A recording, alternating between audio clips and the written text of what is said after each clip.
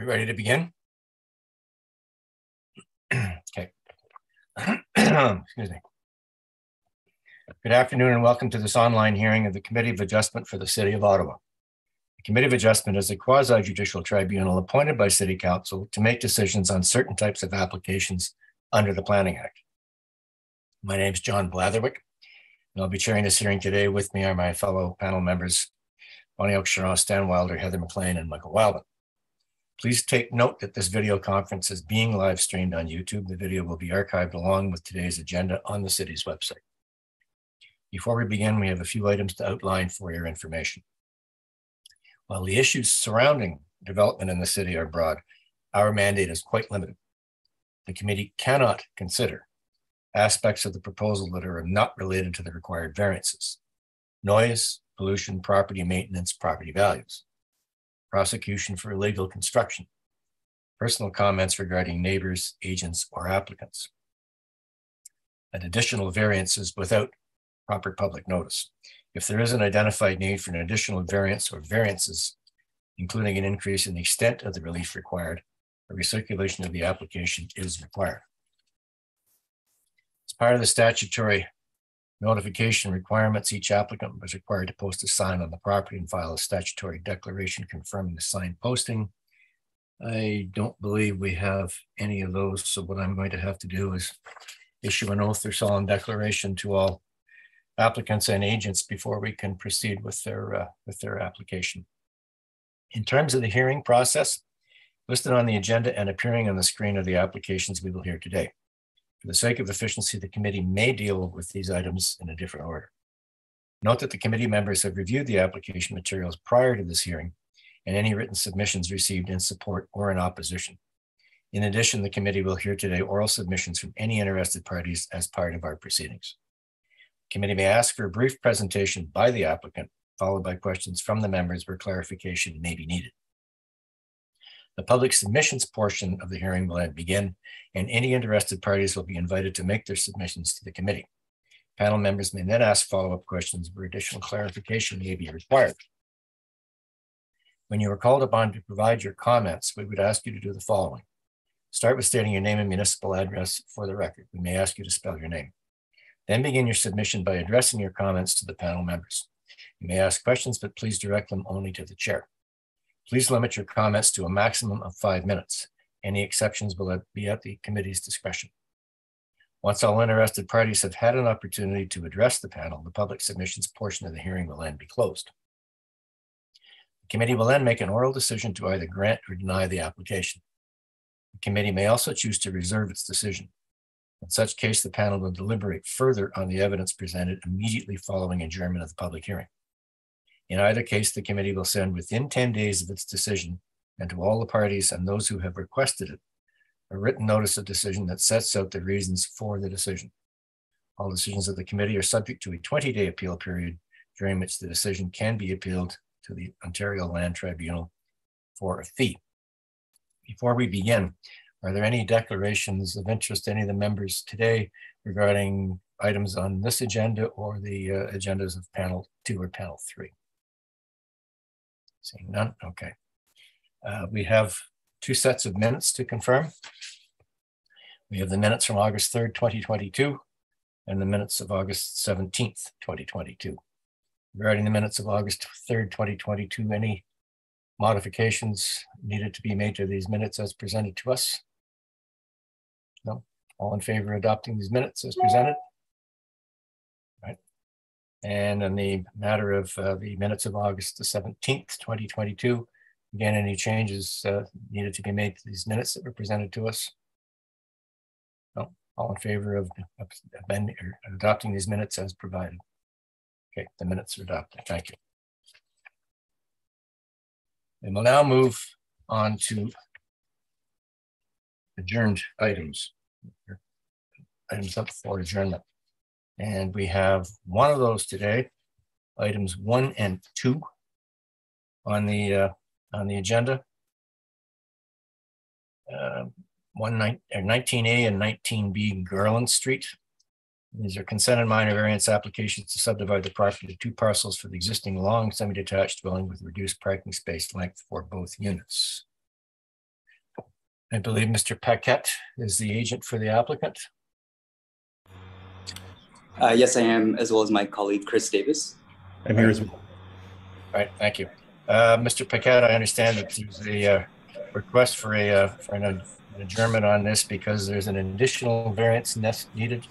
And there are uh, issues with uh, running services across severance lines. Do you want me to answer, Yes. Adam?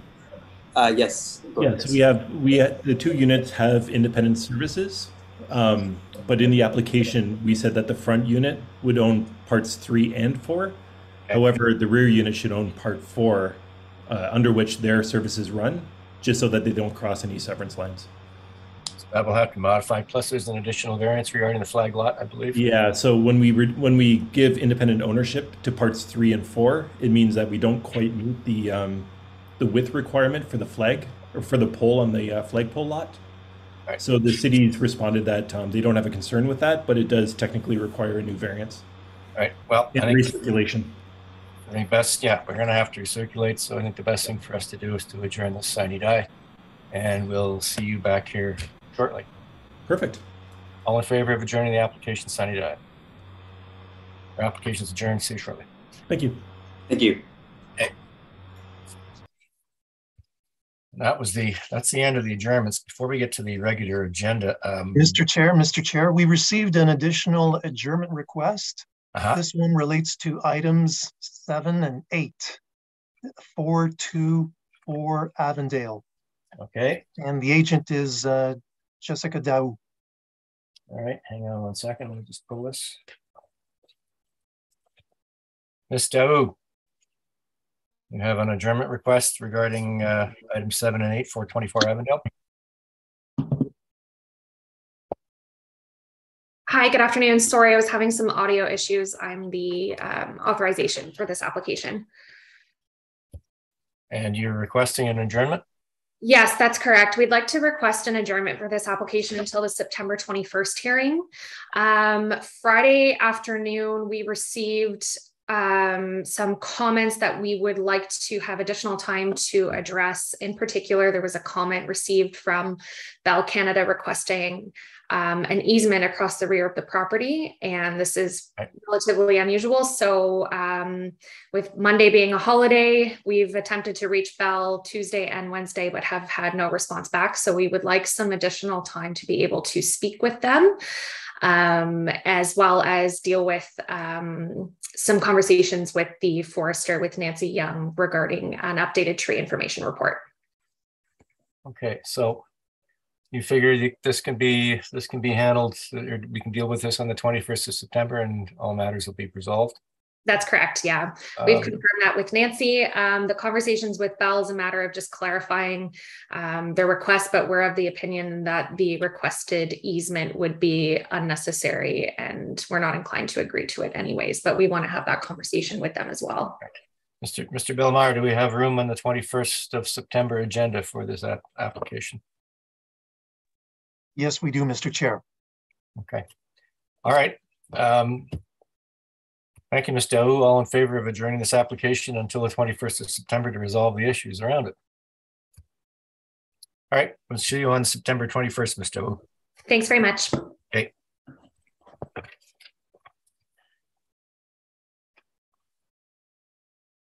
Seven and eight.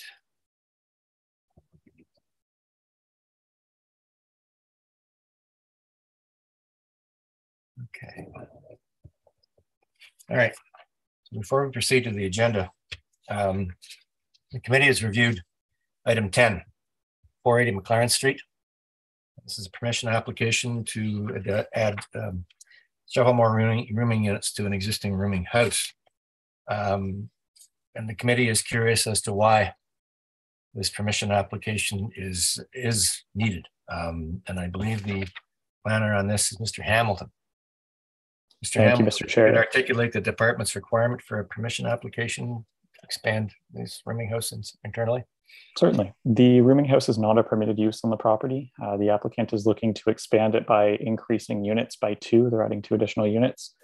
Uh, because it is a legal non-conforming use, the additional units do constitute an expansion uh, and therefore require a permission application. Okay, and I, I believe there's a, there's a, res- an exception on, on this pro, on this, on the zoning bylaw regarding this as well. There is, it's, I don't believe it's related to the use that's proposed. I, I think it was just um, uh, regarding a dwelling unit, if I'm not mistaken. So Ms. McLean. you've had some concerns regarding their, the need for a permission application. Are you satisfied with the answer from planning department? Uh, thank you, Mr. Chair. I just wondered if the, if the applicant had sought legal advice on the need for this application, because it's my understanding that there's case law that allows you to expand a legal non-conforming use within the confines of the existing building. Hi there. Um, yeah. I Your would- name and address for the, uh, for the record, please. Hi there. Yes, Mike Imison, and my address uh, is 203 Kinlock Court, Ottawa, Ontario. Okay. All right. Um, yeah, getting a uh, specific answer on the uh, requirement of a permission application was difficult to find. I did speak with a couple lawyers. They couldn't confirm. I spoke with Craig, and his suggestion was to go in this route. I, I did speak with the cup. I spoke with the City of Ottawa um, Rooming House Committee or the division. Um, they were okay with it as long as it met building code. Um, so it seemed like this was the only way to proceed. Um, and this is the path that we ended up going down. I'm wondering, wondering whether or not we should adjourn the application and let the applicant get some written legal advice uh, on, on the need for this application and, and have it submitted to the committee. Um, I'm inclined to agree with Mr. McLean. Mr. Wildman? Thank you, Chair. I, I agree with uh, Ms. McLean. I, I also think that it's probably appropriate for uh, Mr. Hamilton to do the same. Um, and uh, the particular case uh, that uh, Ms. McLean is speaking uh, about should be uh, cited as as something for consideration. Um, you know, I, I understand that if you can't get an answer, it would be uh, probably prudent to to just run it through the process. But uh, our sense is it's probably not required based on case law. Uh, and uh, with that, with that as a matter of law um, being the case, then um, we don't think that this committee should be uh, should be dealing with this. Um, so with that, um, you know, I'll leave it like that. Uh, Ms. McLean, did you want to pass along the the the um, the uh, case law that uh, that you you were referring to? Uh, yes, unless something's changed in the interim, it was a central Jewish um, case that went to the Supreme Court, where I believe it was ruled that the uh, legal non-conforming use could expand within the um, the uh, interior of the building as of right.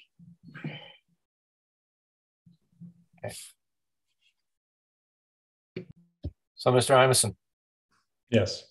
you've heard the, uh, you've heard the committee. Um, Um, Frank, frankly, I think we'd probably be best if you got us a legal, a legal opinion. And the planning department can do the same. Whether or not we actually should be dealing with this matter, or whether you have a right to do what you're going to do anyway. Okay. Um, and Ms. McLean, would would it be possible to um, reference that somewhere in writing so I could share that with a lawyer to have them review it? Ms. McLean? Well, it was, if you just take a note that it was the central Jewish case, I'm sure um, uh, any real estate lawyer would uh, would be able to find the case and and uh, and read it and give you an opinion on it. Thank you. Okay. And Right. if this process isn't required, it certainly is a, a large process to go through to add within the building. So uh, if I do get um, legal advice that requires or confirms that I don't need to do this, what would be the next steps? Well, you won't be dealing with us. Just getting a building code and or getting a building permit and going through that process? Yep. Yep. And once I get it in writing, do I confirm back to a coordinator? Um, Yes, you can confirm, you can confirm back to us and withdraw your application. Okay. Um, how long do you think you would need?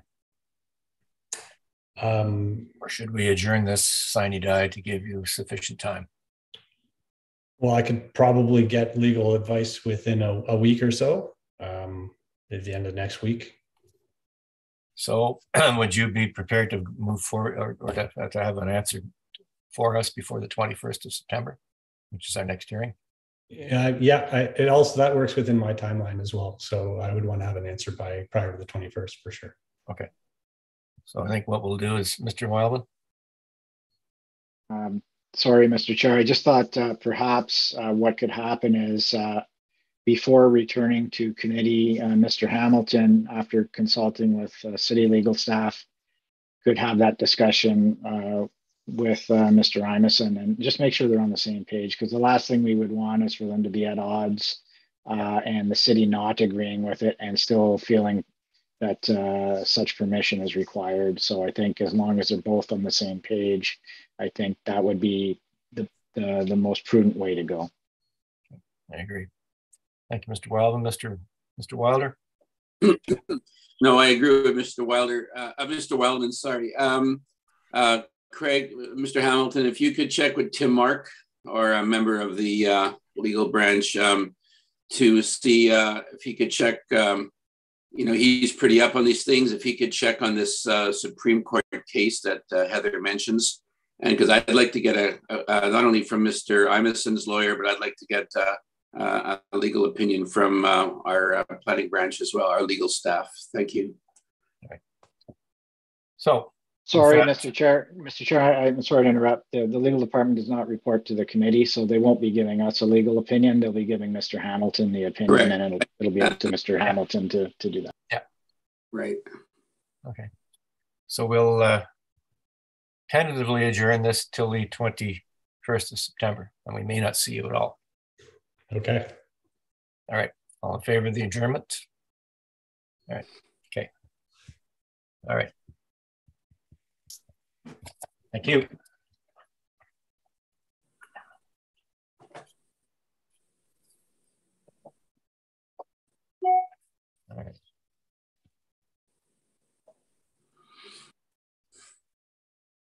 Okay.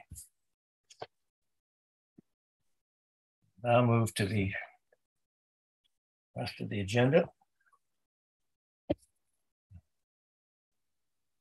The Application we have before us is item three on the agenda. Five seventy-four Edison Avenue. This is a minor variance application permit a reduced interior side yard setback for the construction of semi-detached dwelling, a semi-detached dwelling with secondary dwelling units. And the agent for the applicant is Ms. Hill.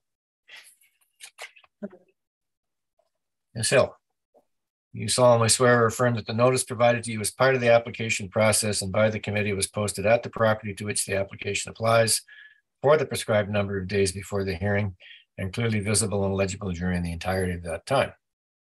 Yes, I do so swear. Okay. So this is, uh, this is a pretty simple application. I don't think we need a a presentation on this. Uh, how does it satisfy the, uh, four tests, Michelle? Well, it's minor in the sense that it's already, what we're asking for, the, the side yards that we're asking for is a predominant existing pattern neighborhood.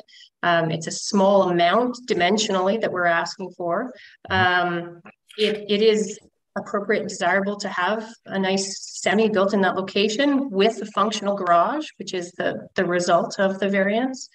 Um, and, uh, in terms of uh, the bylaws, um, the bylaw didn't, um, the, the, the, the side yard wasn't put in place in order to make garages unreasonably narrow. It was intended to allow for garbage to be moved from the rear yard to the street when small apartment buildings were constructed. But this isn't a small apartment building. The garbage is in the garage. So we just don't need that much side yard. Um, so I think we're meeting the intent of the bylaw. Um, and, uh, and the uh, official plan, uh, the existing official plan is uh, certainly promoting uh, semis in this location. Okay. Thank you, Ms. Hill. Any questions from the uh, comments from the members of the panel? You note that the uh, that the planning department has no concerns with the application and any other any of the other authorities, and that there are no conditions being requested. All right. In the matter of this minor variance application to permit to reduce the interior side yard for the construction of a semi-detached dwelling with a secondary dwelling unit at five seventy-four Edison, all in favor of the application as presented. Your application's approved. Good luck with your project, Ms. Hill. Thank you.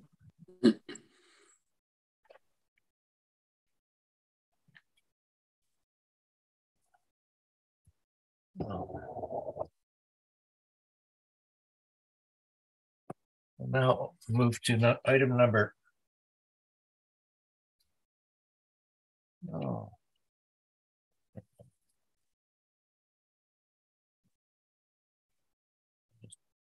Juggling these a little bit. Item number nine on the agenda, which is 208 210 Cowley Avenue.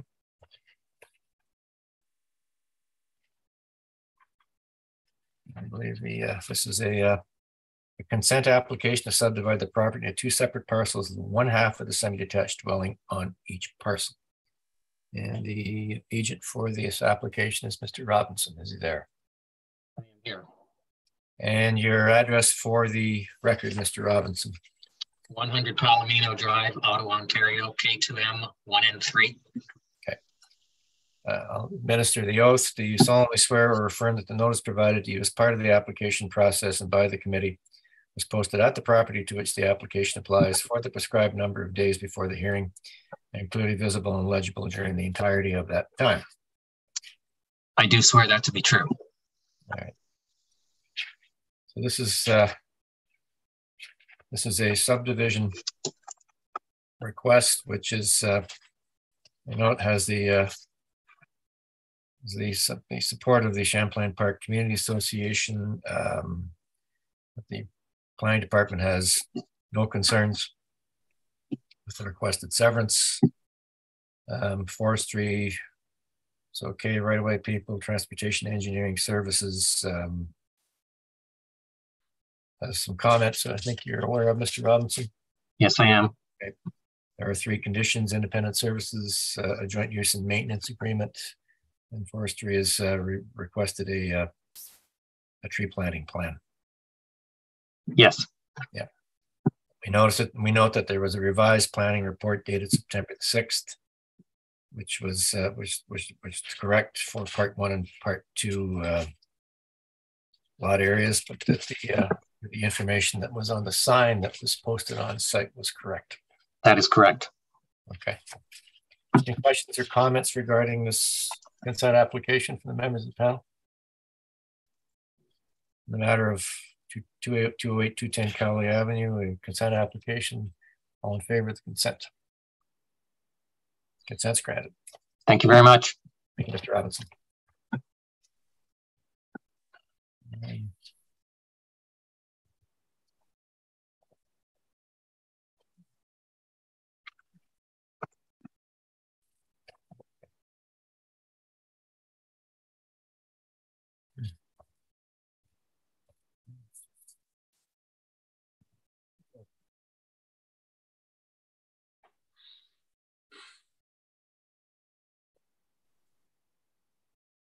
Next application will deal with is item eleven on the, uh, on the agenda, thirty-eight Adelaide Street.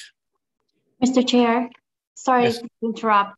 The agent does not appear online. If we can step this down, I'm trying to Oh, contact the Okay, agent. I'll put it back, I'll put it back in the order, no problem. Thank you so much. I'm Just trying to get the. All right. All right, so. I'll move to item number. Number four. On the agenda. This is uh, twelve West Presland Road. It's a minor variance application to permit an increased footprint for a new coach house. The committee dealt with this application uh, in June and dismissed the application, determining that it, the application failed on all four tests that we are required to uh, assess applications by. So the um, the agent for this application is Mr. Bisson. Is he there?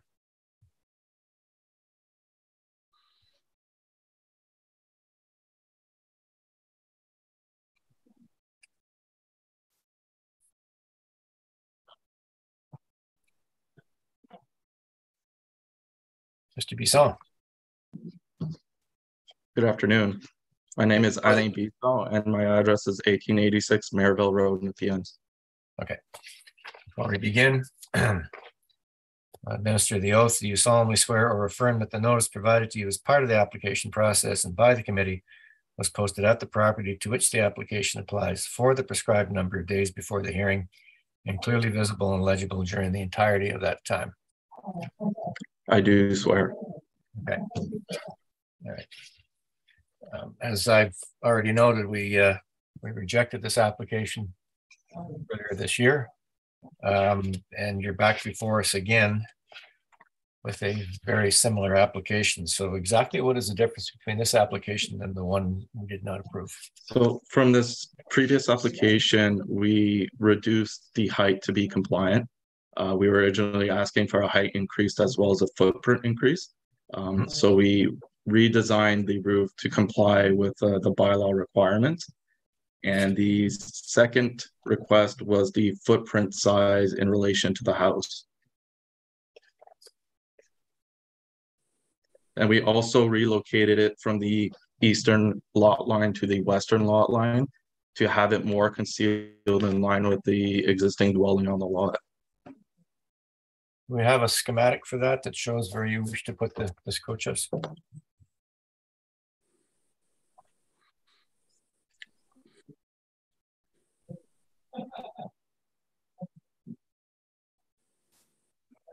So we have a presentation uh, pulled together to compare the two applications. Um, next slide, please.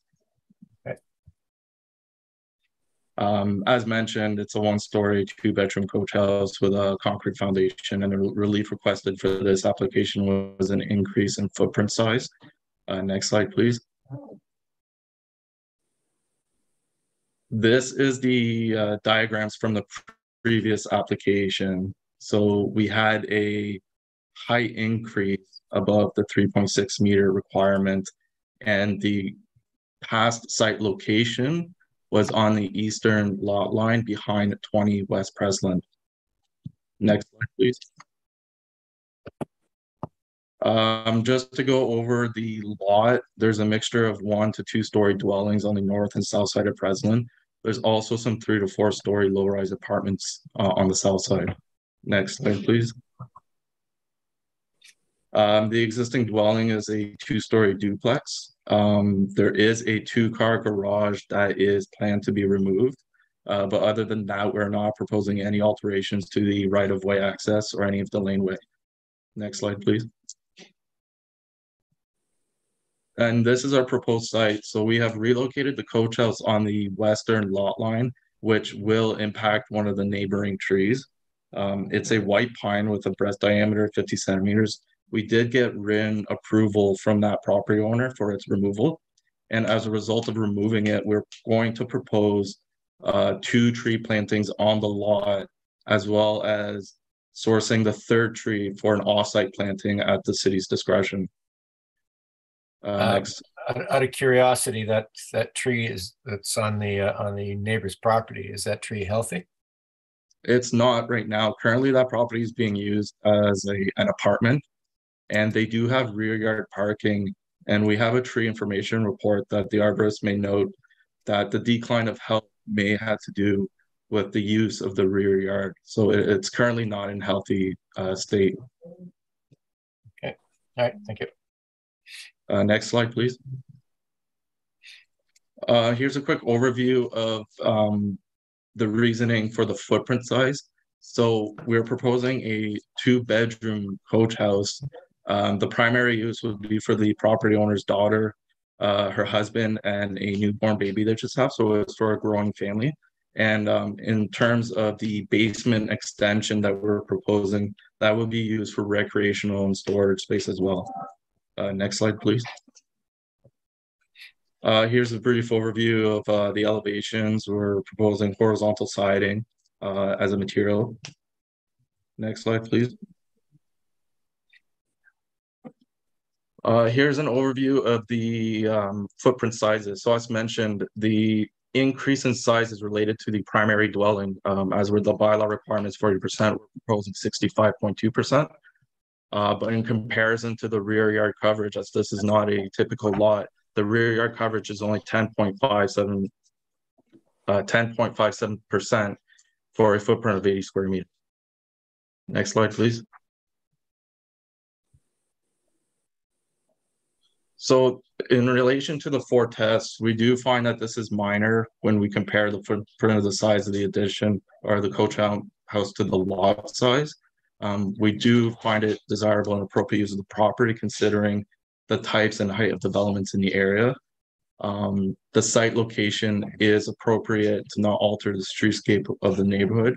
From the previous application, um, it was mainly visible from the street and the new location that we're now proposing the existing dwelling is going to help conceal some of the development from the street.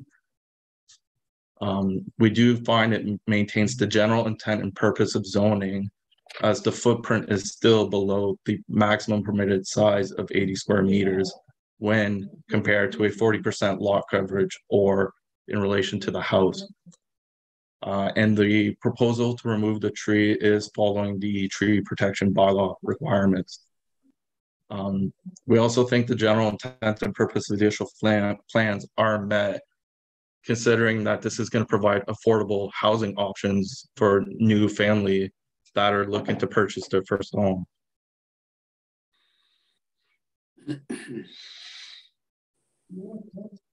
You talked about purchasing the first home. You can't sever this. Well, no, we're not severing it. It's um, living like uh, options without being like it's for the family the property owner's daughter. It's their first home they're a growing family. Um, so the intent is for them to live in this space to raise uh, their newborn child. All right. So basically what we have here is the same size footprint uh, moved to a different location on the lot and, and slightly lower to meet slightly lower to slightly lower in height to meet the height requirement of the bylaw that's correct Okay.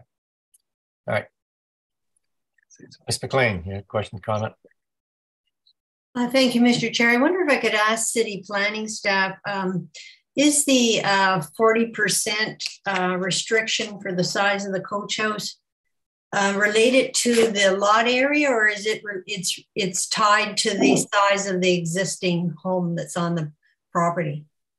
Through you, Mr. Chair, if I'm not mistaken, there are three requirements um, in calculating the floor area that's permitted for coach houses, and we take the lesser of the options. Um, I believe one of them is in relation to the lot size, and then the second most applicable would be a percent of the floor plate of the home. Um, in this instance, we're using the home.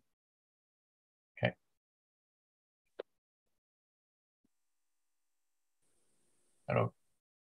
I'd find Ms. McLean. Okay, uh, Mr. Wildman, you had a question or comment? I uh, just wanted to hear from Ms. Young uh, briefly. Uh, Ms. Young, uh, you, you heard the commentary on the uh, tree on the abutting property and the solution. do you have any concerns with that or, is, or are you comfortable with what you heard? Thank you for the question. through you, Mr. Chair. Um, I do find it odd. there is room on the site to build this and not impact the tree. Um, but they do have permission from the neighbor. Um, so, I mean, it is following the bylaw. If the neighbor doesn't want the tree, then technically there's no issue. It's just odd that it's removing a neighbor's tree. Um, so, if there can be tree planting instead, then um, that is okay. Is there a, is it, curiosity, Miss Young? Is there a, is there a guarantee that that tree will be a permit will be issued for the removal of that tree? Um, I guess not a guarantee, but certainly um, my comments and the information from this hearing will be shared with the forestry department. So they wouldn't Sorry. really have a reason not Sorry, to. sorry, Mr. Wildman. I thought you were done. Well, yeah, that I was sort of going in that direction a little bit. Um, so just to be clear, Ms. Young, a permit is required to remove that tree, even if the, okay, so we could impose that as a condition if we, if we wanted to. Um, if Yeah, we want, if except- we were so inclined. Yeah, Um, except this isn't a consent. Right. Um, a good point. Uh, the other thing is the, the, the three, I think you said three trees being planted. Have you been engaged in any discussion there or is that, is this the first you've heard of it or where are you on that? We have had some discussion on that. Uh, I don't think we have a plan yet for where those trees would go, but um, it sounds like they are willing to provide that. And that will be required for the permit as well. So Right. even aside from the committee Okay. process. All right, fair enough. Thank you. Okay. So, Ms. Oakes Charron, Thank you, Mr. Chair. Could we put the site plan back up, please?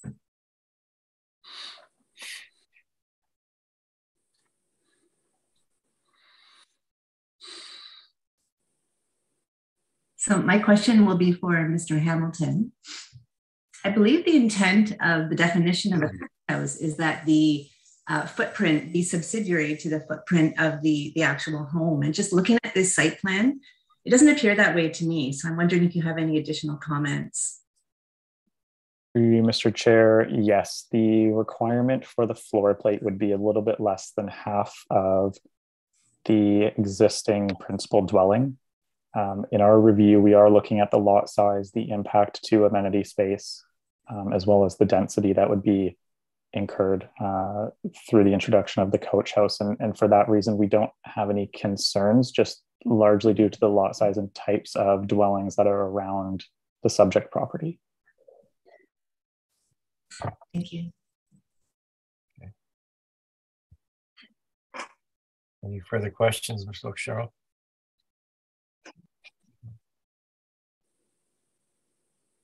All right, uh, Mr. Bisson, just looking at the application here. um, We've dealt with forestry, we've dealt with the planning department. uh, You're aware of, ha- you're aware of um, Hydro's comments? Yes, I am. Okay. And uh, a standard comment from the right-of-way people regarding private approach, private approach permits required. Yes, I'm aware of their comments as well. Okay. All right. My concern with this application is we're basically rearranging the chairs, on the deck chairs on the Titanic. And I'd like to, uh, quite frankly, I'd like to reserve on this application so that the committee can further discuss the ev- evidence presented to us. So- One thing I also want to mention is that we have been in discussion with the neighbors. Um, I just want, I felt it's, uh, it should be made, uh, knowing that we spoke with the neighbors and they have, uh, full support for the project.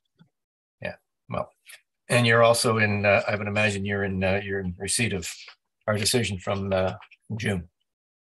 And the and in there is the rationale why we turned this, turned this down on all four tests. So we will reserve on this application, Mr. Bisson. Thank you very much for your input and, uh, you'll be hearing from us, uh, when we're beginning our decision within ten days. Thank you. Okay, thank you.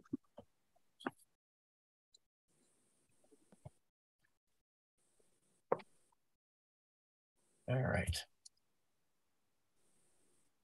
Ah.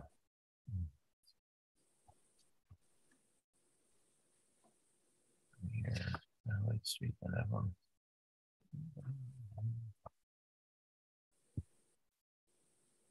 Mr. Next Chair, hmm? sorry, I just wanted to let you know the agent for item 11 is now in attendance. Okay, Thank you.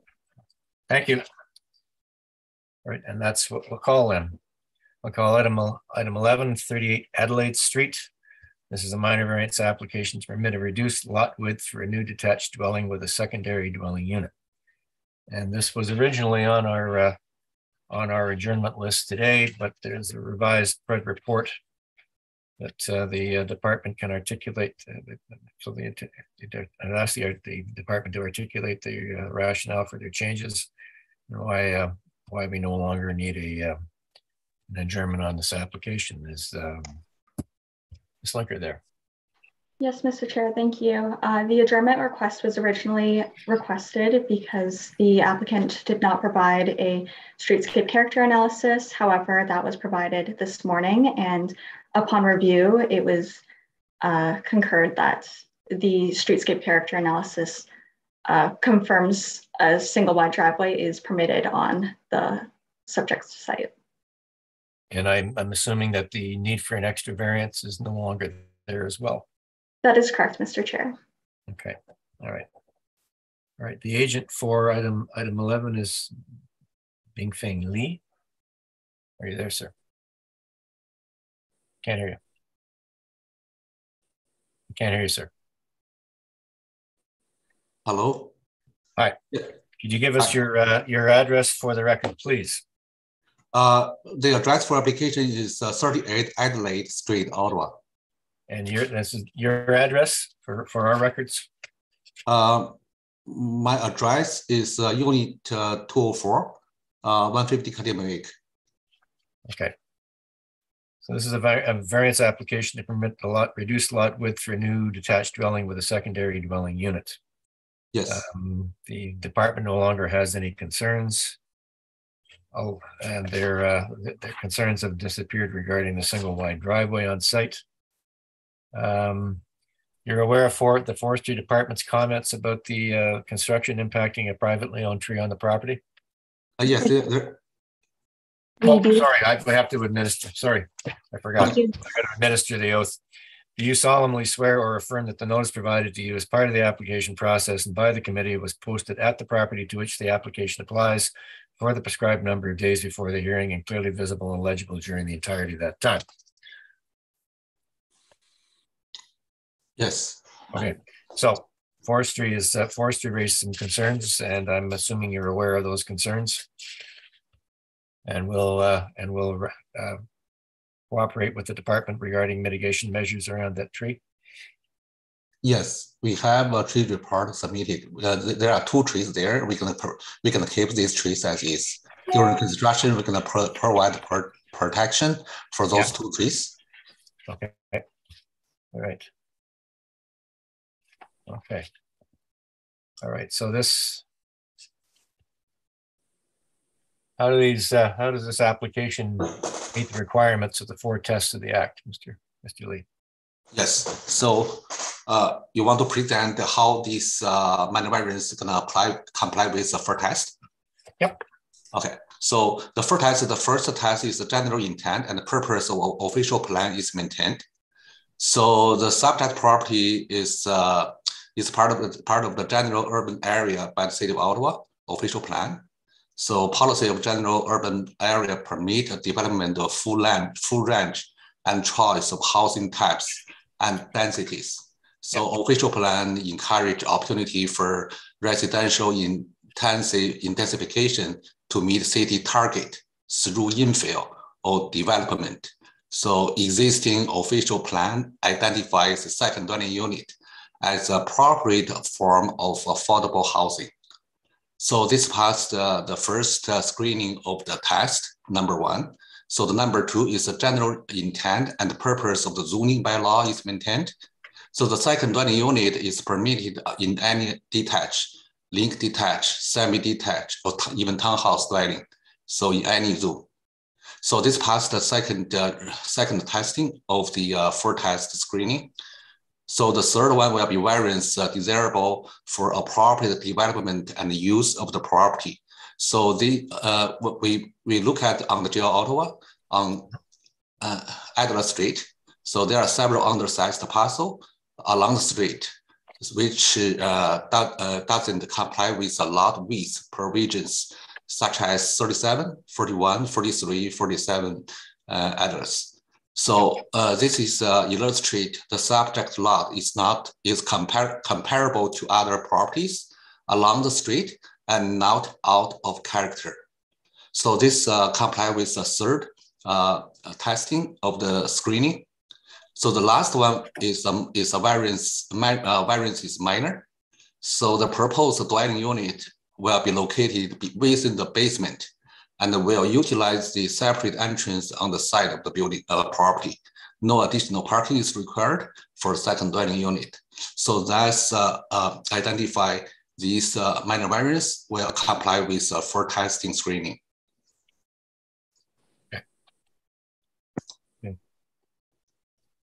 Uh, we note that there are no conditions that are being asked for. Um, but the, uh, that the planning department is in, uh, in support of the application. You're going to satisfy forestry. There are standard comments from Ottawa Hydro regarding contact them for more information. Yes. And uh, right away, people, there's again, their standard comment, a private approach permits required if you're going to put another driveway in. Um, any questions or comments from the members of the panel regarding this application? All right, so in the matter of uh, 38 Adelaide Street, a minor variance application to permit a reduced lot width for a new detached dwelling with a secondary dwelling unit. All in favor of the application as presented. Okay. Your application's approved. Good luck with your project. Okay, thank you very much. Thank you very, guys, uh, very much, Eric, guys. You're very welcome.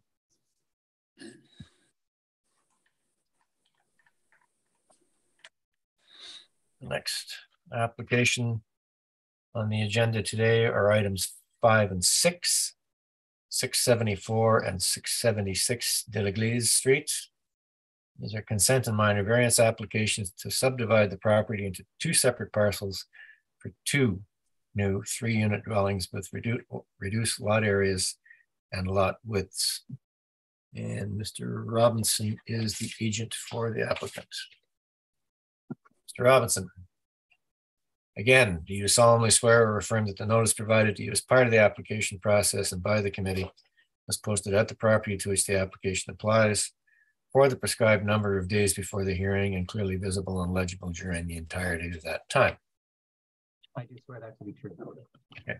And your address for the record again, please. 100 Palomino Drive, Ottawa, K2M 1 in 3. Okay. Um, you're aware of the comments from the planning department and from forestry? Yes, I am. Okay. Um, you're also, uh, I'm, I'm, assuming, aware of the comments from uh, from neighbors uh, who are in uh, opposition to your application. Yes, I am. Okay, we need you need to uh, address address the neighbors' concerns. We also have uh, two of the neighbors who are late additions to the speakers list this afternoon. They may wish to speak, they may not. So okay. If uh, first of all, Mr. Robinson, I, I, when I was reviewing the app, reviewing the materials, I was looking at the elevations. Uh, those two dwelling units look like four-unit apartment buildings, each of them, and yet you're describing them as triplexes. Yes, the basement has got a, a uh, recreational room for the for the uh, uh, each of the, the tenants in the building, and has also got uh, storage and utility rooms um, in in the basement.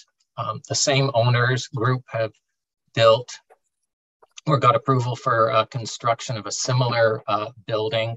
Um, it was done, I think, late last year or early 2022. It was a panel two application and uh, the basement in that and on this uh, development is uh, not intended to be a uh, unit.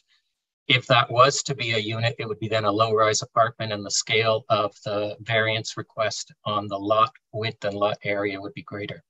Yes, but I was I'm going to say that there'd be a different set of uh, system set of parameters in place. This is a mm -hmm. four-unit building. Okay, please proceed, Mr. Robinson. Thank you. I do have a presentation uh, document at the committee chairman could share it. Thank you. Next page, please. So the application before you is to sever the, the parcel of land, which is shown in the, uh, the black uh, outline um, into two parcels equal in size along the red uh, line and the uh, triplex units are in the uh, green outline. There is an existing house on the property uh, the address is 674 de l'Église. it is a through lot, so it does go from De l'Église to uh, Regis Avenue at the rear. The proposal is for a, a triplex on each lot with a single car, uh, a driveway leading to a single parking space on each uh, of the two lots. Uh, and that would be accessed from the rear uh, on Regis. And then um, there is a uh, pathway between the front and the back. The front wall of the building is facing De l'Église, and there are balconies um, facing De l'Église. Um, next um, slide, please. Thank you. This is the, uh, the site plan. So as you can see, the, the blue horizontal line is splitting the property in two, and we do have uh, driveways leading to a single parking space at the rear. Um, there is a hydro pole um, at the rear uh, on the Regis side.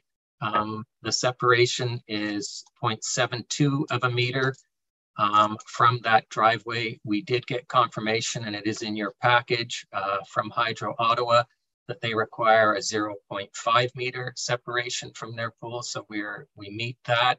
We have the waste structure. I'm sorry, did you say something? No. Oh, sorry.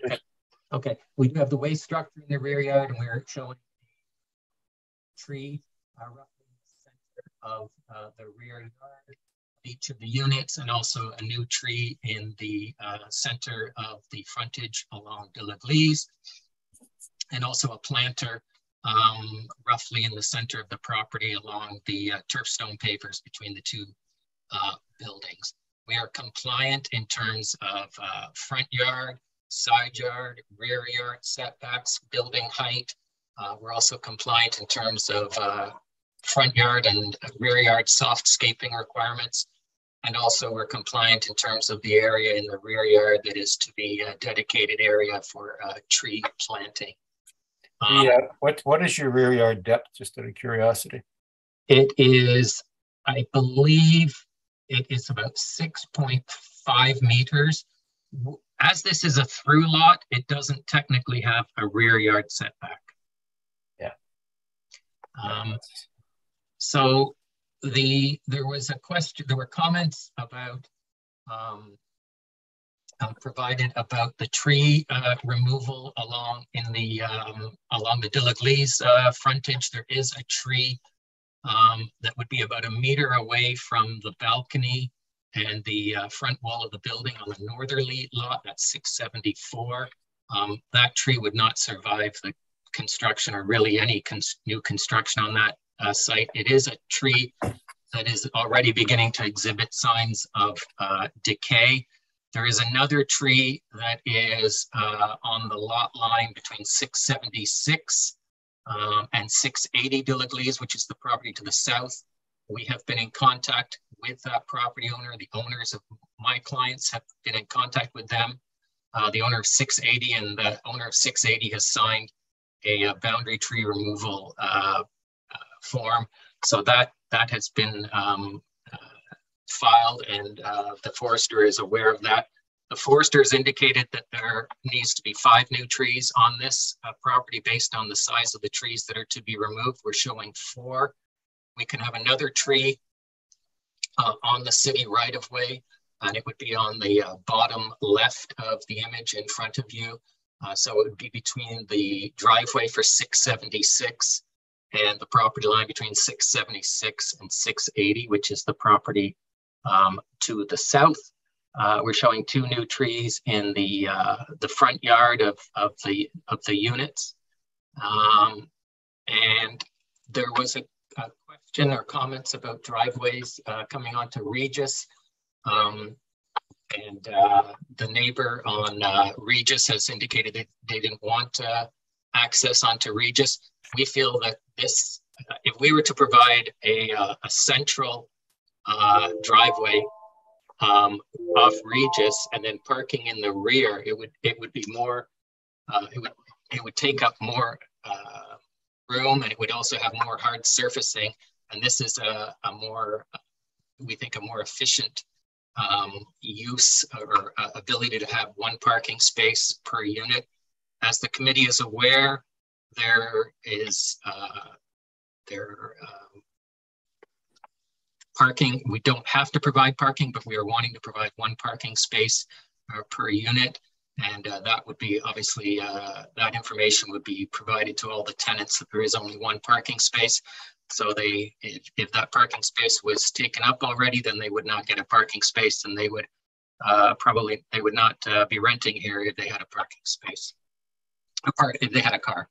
Uh, next slide, please.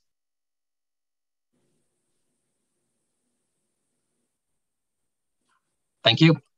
The image on the left is the uh, the view of the property from L'Église. So you can see the, the house and the garage that's there now and the driveway. There is no sidewalk along L'Église in this area. The uh, tree on the left, um, this picture was taken last fall. Picture on the left is the, uh, the boundary tree in question. Um, and then the image on the right-hand side is the view from uh, Regis with the garage on the right, which is shown on the left on the other image, and the rear of the house. Um, there is, as you can see on the image uh, on the right-hand side, on the far left-hand side of that image, there is a tree that is a city tree, um, and it is in front of 427 Regis, and our construction would not impact that tree. Our driveway for the uh, northerly unit uh, would be 72 centimeters. So that is about um, two and a half feet uh, to the right or to the south of that hydro pole. Uh, okay. Next slide, please. This is the uh, the front and rear images of the uh, of the triplex uh, units. they all have front-facing balconies. There are three bedroom units and uh, the staircase is uh, towards the center of the overall property. And there is an access uh, at the rear uh, that would lead to the parking space. There's no balconies at the rear. Correct. There's no no Im- no impact regarding overlooking and uh, privacy, noise that, for neighbors from the rear of the building. That is correct. Okay. Next slide, please. Uh, this is just a, a, straight elevation drawing of the front and the rear. The building height is 10 and a half meters. And um, the zoning in the area allows an 11 meter uh, height for a uh, triplex uh, unit. Okay. Next slides, please. These are the side views. You can see the, uh, the balcony. Oh, thank you. Uh, that's the side view between the two buildings. And then the next slide, please. This is from the tree information report showing the uh, the tree in blue, which is the boundary tree, which is to be removed. I think it's about a 37 centimeter And then the uh, tree on the right is a 70 or 71 centimeter diameter Norway maple. Um, that is uh, quite close to, it's I think within a meter of the uh, proposed foundations and uh, the, that would not uh, survive uh, construction. And that that has been reviewed um, by the um, uh, the forester, and I believe there's conditions in the uh, uh, planner's report on this. Next slide, please. This is the typical, it's the ground floor plan, but it's the typical floor plan. There, there are three bedrooms, there's the stairs, um, and then there's a, a walk-in closet and a, a, washroom. And then the room at the front, uh, the bottom half would be a, a kitchen and a, living room, uh, family room. And then the next slide, please.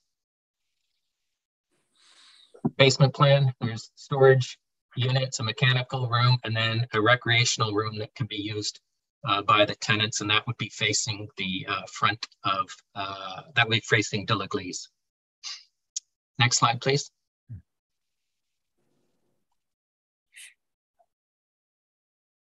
Uh, this is the last slide. So the image on the left shows the build, the property in blue. It shows um, sixplex units um, to the north on the same side of the street. There's three of those. Um, they are roughly the same size property and they are one building of uh, six units. Um, they were probably built in the 50s or 60s Um, to the north of that at 642 is an existing triplex. And then the image on the right is showing uh, properties to the south, immediately to the south at 680 um, is a uh, triplex. And then there are some further triplexes at uh, 703, 709, and I think seven, can't see the number, it, would be the next one to the south. There's three triplexes in a row. And then they're on uh, uh, Morgan Street, uh, opposite to one another, there are two uh, sixplex uh, units. So the, the area on the west side of Rue de l'Église is all in an R4 zone. I believe the properties um, um, to the east, uh, those are townhouses, and I believe those are R3 zone. But uh, everything on the west side of de l'Église and to the west on Regis um, and La Pointe is in an R4 zone, which permits uh, single semis, triplexes, and low-rise apartments. So the, the variances that we're asking for, it's almost the identical variance on each. It's related to uh, lot area. The lot area requirement is 300 square meters.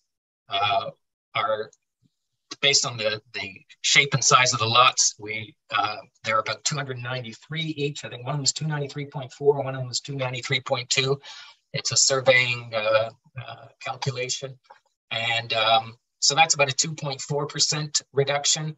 And then uh, lot width, the requirement is 10 meters, and we have 9.6. Um, so that's a 4% reduction. So the, the variances that are being requested are, are quite minor in nature. It is a permitted use in the zone, uh, meets the city's uh, intensification uh, goals and guidelines. It's, it's supported in the official plan. Um, it's an appropriate uh, development and use of the land. And uh, we have, uh, we have staff support and as well, we have um, I distributed the drawings to the Community Association, Overbrook Community Association. They responded to me saying they were happy that these are three unit, uh, uh, three three bedroom units, and uh, that it's good that uh, small families can can move into the neighborhood, um, and that they they didn't have any uh, concerns. We did distribute a summary of the uh, application and the drawings in the immediate neighbors. Um, with uh, my contact information and one of the owner's contact uh, information, and we did not hear from anybody. Okay. All right. Thank you, Mr. Robinson. You're aware of the uh, of the conditions that the city has uh, has uh, has imposed, cash in lieu, tree yep. planting plan, development agreement, or a letter of undertaking to prepare and implement the tree planting plan. The security is of four hundred dollars per tree for a period of one year. Yes. Uh, existing dwelling to be removed. Services capped. Um, we've removed uh, condition five because it's yep redundant. Grading and drainage plan and a development agreement for uh, an as- asphalt overlay. Yes, I am. Okay. Mr. Mr. Wilder, you had questions or comments? Yes. Um, not sure if you can hear me. Um, can you hear me? Or okay. Um, Mr. Robinson, a few things. First of all, the concerns about on-street parking here in terms of two, uh, six apartments, two parking spaces, four cars. I suspect in this location, at least one or more, and perhaps all four of the units are going to have vehicles. Um, you see that as a concern? Obviously, that's been raised by the neighbors. Yes, um, the the it's three units per building, so six units in total, and we're able to provide um, one one parking space per unit on the property, and there is um, uh, so that would be a total of two on the property. The, the bylaw does not require any parking um, for up to 12 units in this area. Um, it's, and, and this is the way that, um, you know, the, the city's policies are going in, in terms of uh, reducing the amount of parking that is being provided uh, through intensification. Um, the comment that the neighbor had with regards to on the uh, individual living on Regis Avenue at 427 Regis, uh, yes. uh, with regards to um, the concern about snow removal. um, which may be pushed onto the city drain, uh, which is, I'm familiar with another case similar to that um, next to her tree. Um, uh, this is this an, uh, something that, well, how is snow removal going to be dealt with here? Well, the the the owners are going to have to coordinate. They're going to have to have a contractor to remove um, the the snow off the driveway, and that can be that can be uh, directed away from uh, the property at 427. Um, they'll have to, you know, they'll probably have to do it before and after a snowstorm because the city is going to plow that area as well. The um, the one point uh, I noticed there was a comment. I you said the uh, setback from the hydro pole. You said was going to be 0.5 or 1.5. Yeah, they we we reached out to Hydro Ottawa before we started this project and got confirmation that they require a 0.5 meter setback for a driveway from a hydro pole. We are providing in excess of that of 0.72. On Friday afternoon, when I got the package of comments, one of them was from the right of way group, and they had a series of comments to all the applications, and they indicate 1.5, which caught me by surprise. Um, the person who made those comments, um, it, it appears is or was a summer student, and I reached out and didn't get an answer on Friday afternoon. I reached out again Tuesday after the long weekend, and that person has forwarded the comments on to someone else who contacted me this morning saying that they're going to look into it. But my understanding is Hydro Ottawa has a 0.5 meter separation requirement, and we're in excess of that on the uh, northerly um, of the two driveways. The obviously the the hydro pole is on the city property.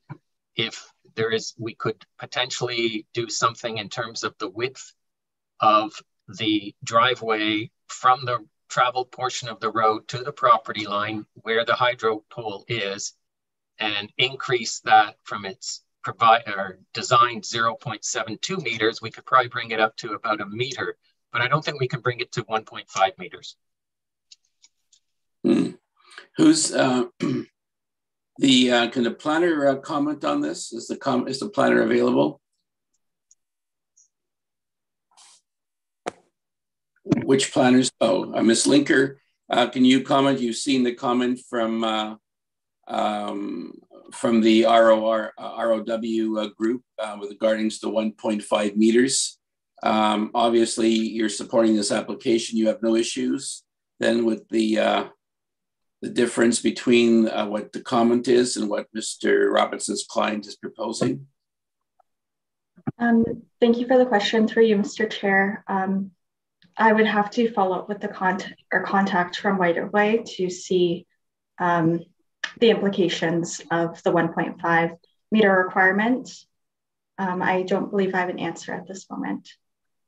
If I could just interject that the comments that were provided to the committee um, and are in your, I would assume are in your comment package for this file.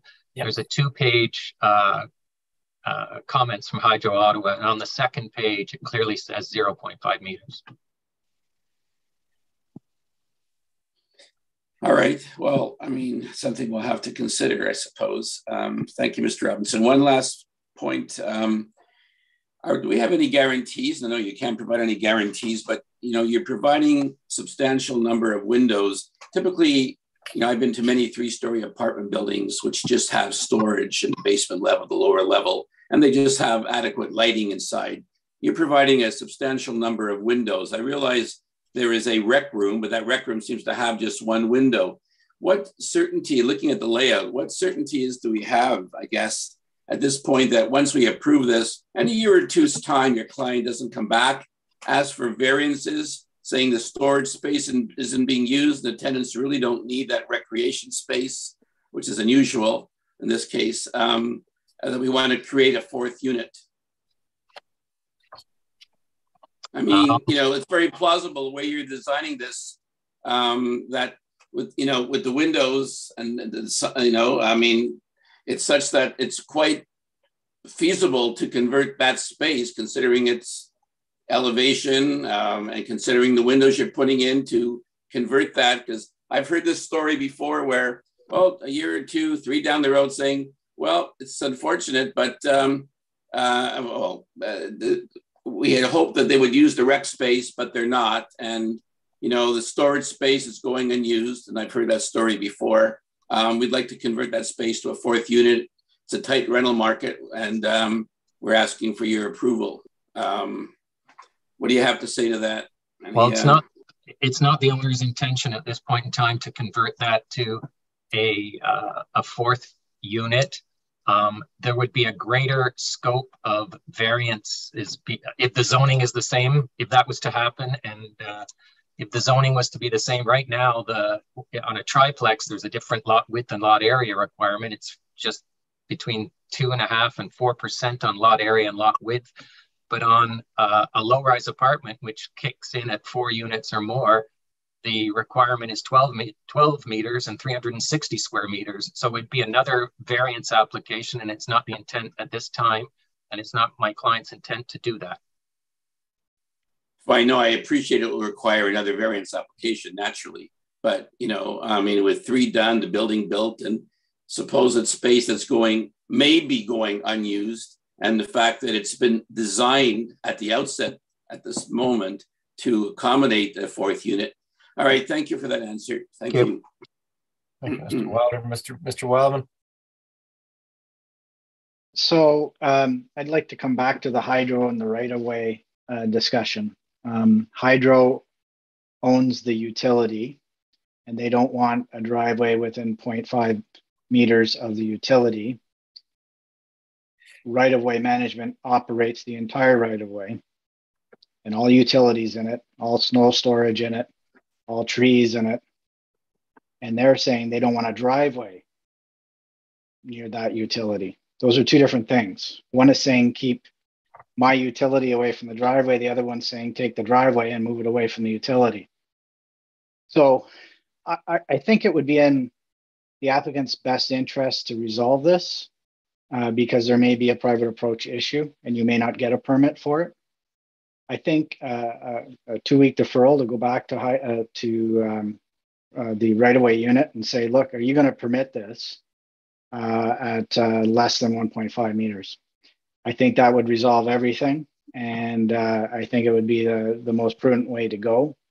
I, I think many, many times this committee has sent applicants back to talk to utilities and agencies to resolve issues where there appears to be some confusion or conflict. And the fact that Hydro Ottawa has said 0.5 meters is not convincing enough to me when another um, a, uh, agency that operates the entire right of way is saying 1.5. I'm not saying you won't get it resolved with them. I'm just saying I think it leaves some question about what right of way management wants. And uh, so I'm going to suggest that uh, a brief uh, adjournment to go back and chat with them and see if you can work this out. Thank you, Mr. Chair. Thank you, Mr. Wildman. Mr. Robinson? Uh, well, obviously, we prefer to have it dealt with uh, today. I understand Mr. Wildman's uh, comments, and uh, um, I, have never run into um, this discrepancy uh, before, so it sort of caught me by surprise on Friday afternoon, and I've been trying to um, trying to get resolution on it. Um, we, if it's the will of the committee, we will uh, stand it down for uh, two weeks. And uh, we don't we don't like surprises any more than you do. No.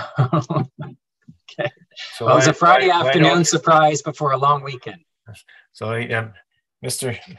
Mr. Wildman, with his with his background, is well well aware of what can go wrong and right, obviously uh, perhaps a two-week adjournment, and we have space on the on the agenda on the 21st of September. Mr. Bellemare? Yes, we do, Mr. Chair. Okay. So we adjourn this until the 21st of September so that you can resolve those issues, Mr. Robinson. Thank you very much. Mr. Chair, Mr. Chair, could I just interject? Yeah. Certainly. Perhaps if we could have some more evidence, uh, just written evidence on the lot pattern and dimensions in the neighborhood, given the nature of the variances that were being asked for, I don't believe I heard evidence on the sizes of similar size lots with the use that are on that are on there existing on them. So if we could just have that in written form, uh, before the uh, September 21st, that would be uh, great. Thanks. Okay, but yeah, Mr. Robinson? Yes. Okay, all right.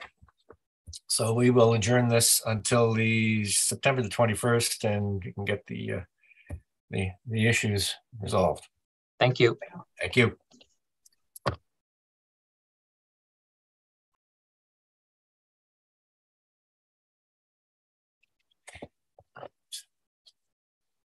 Okay.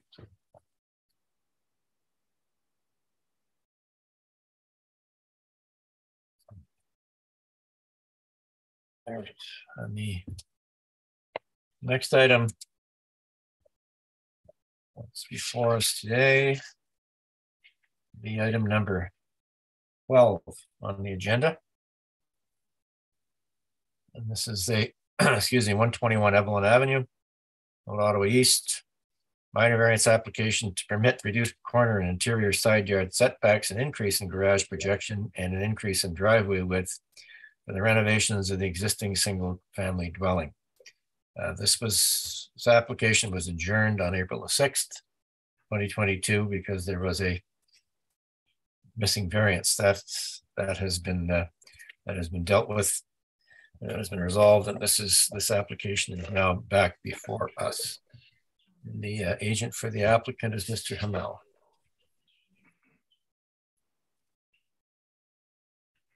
Good afternoon, Mr. Chair, uh, committee members. My name is Jacques Hamel. Um, my address is 170 Main Street. Do I need to swear? Yes, you do.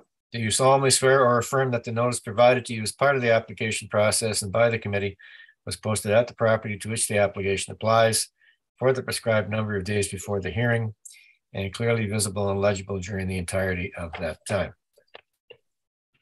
Yes, I do so swear. Okay. Uh, You're aware, Mr. Hamel, that uh, staff have concerns with this application and that uh, there are a there are a number of neighbors who are uh, in opposition to this uh, to this application as well.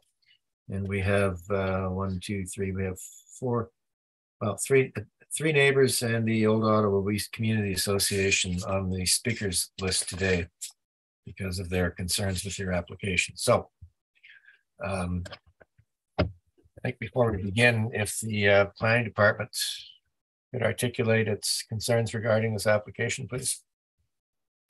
Thank you, Mr. Chair. We do have concerns largely arising from the introduction of the driveways that are not permitted on the property. Um, this one in particular has three widths of single driveways. Okay. And this is not common in the neighborhood, I would assume. It is not.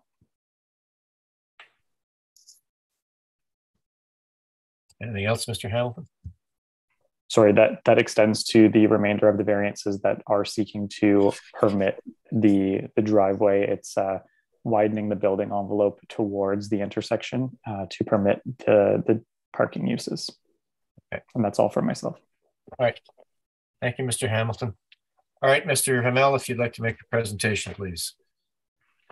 Um, thank you, Mr. Chair. Uh, Mr. Tardioli in my office here will do the presentation. Also with us um, are the owners um, behind me. They can introduce themselves, I guess. Yeah, and uh, we're the five minute clock is running, Mr. Hamel. So the uh, Okay. you know, the four the four tests are what's important here. Where's the presentation? Can, I- Can we have the first slide, please? we have the first slide, please?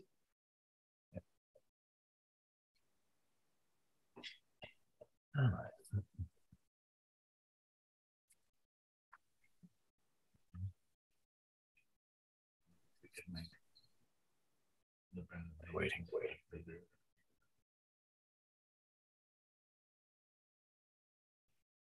Apologies, we're just running into some technical difficulties. We'll have it up shortly. Okay.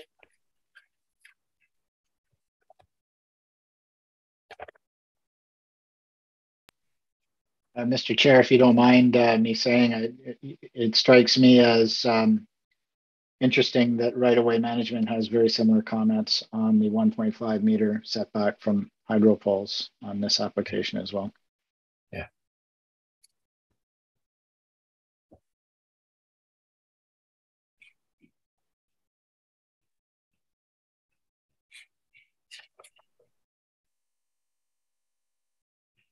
And while we're waiting for the presentation, Mr. Wildman, are you aware of the rationale behind that 1.5 meter setback? Or is it just an arbitrary number? I don't think it's arbitrary, uh, Mr. Chair. I think what it does is it, it, it, does factor in a lot of what goes on in the average utility corridor.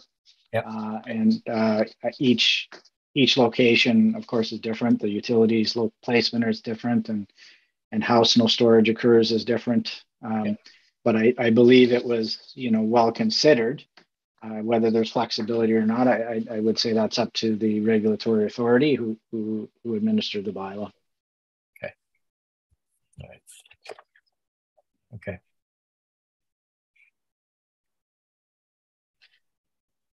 There we go.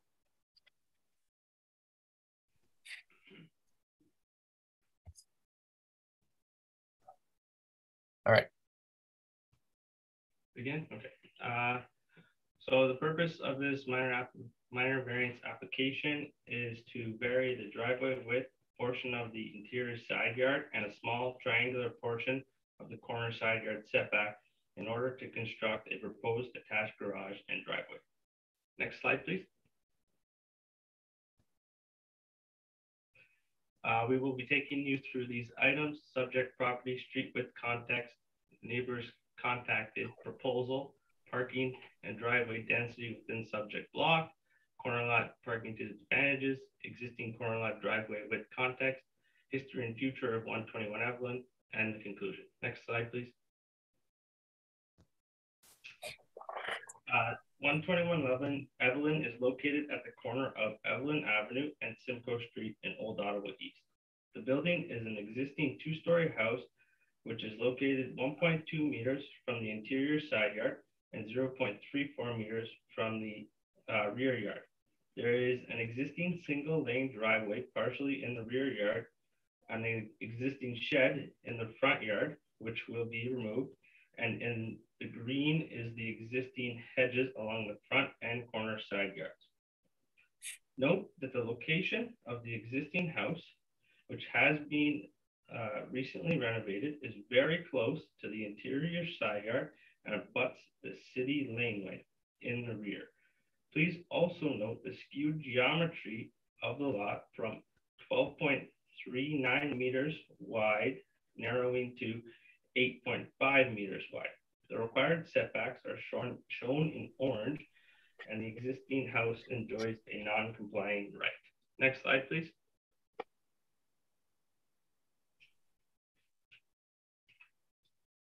Uh, this is the street with context. Evelyn goes from Main Street in the bottom left west corner of the map to Brunswick Street, which is not shown on the map.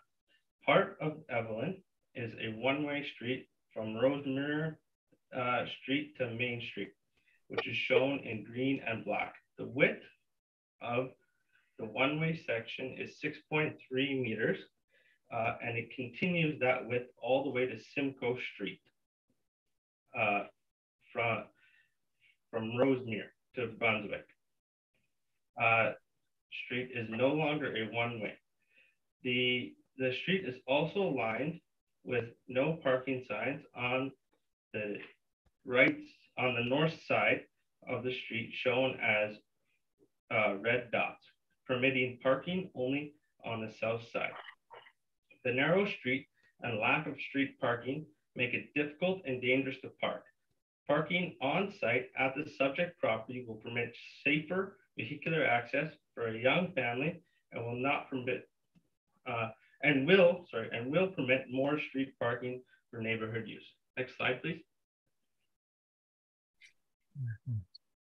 Uh, the owners contacted uh, 43 neighbors and 40 of them were in support. Uh, we also spoke with uh, Councillor Menard's office, uh, and he has no objections.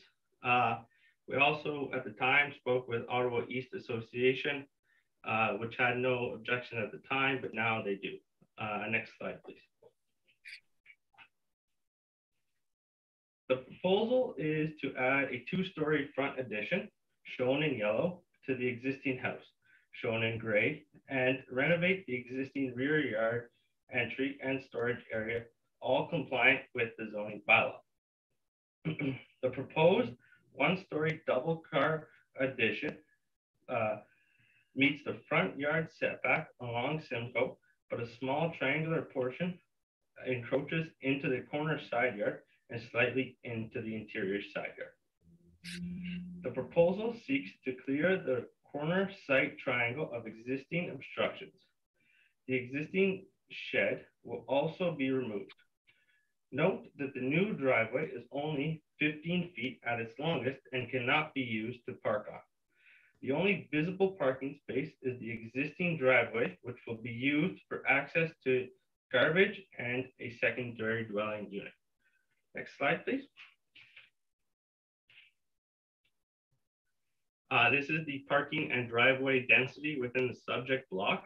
As you can see here, uh, many of the uh, lots in the block have uh, capability to have more than uh, five or five or uh, can have a maximum of five parking spaces. Uh, and you can see that the corner lots are uh, at a can only fit a minimum of two. Uh, next slide, please.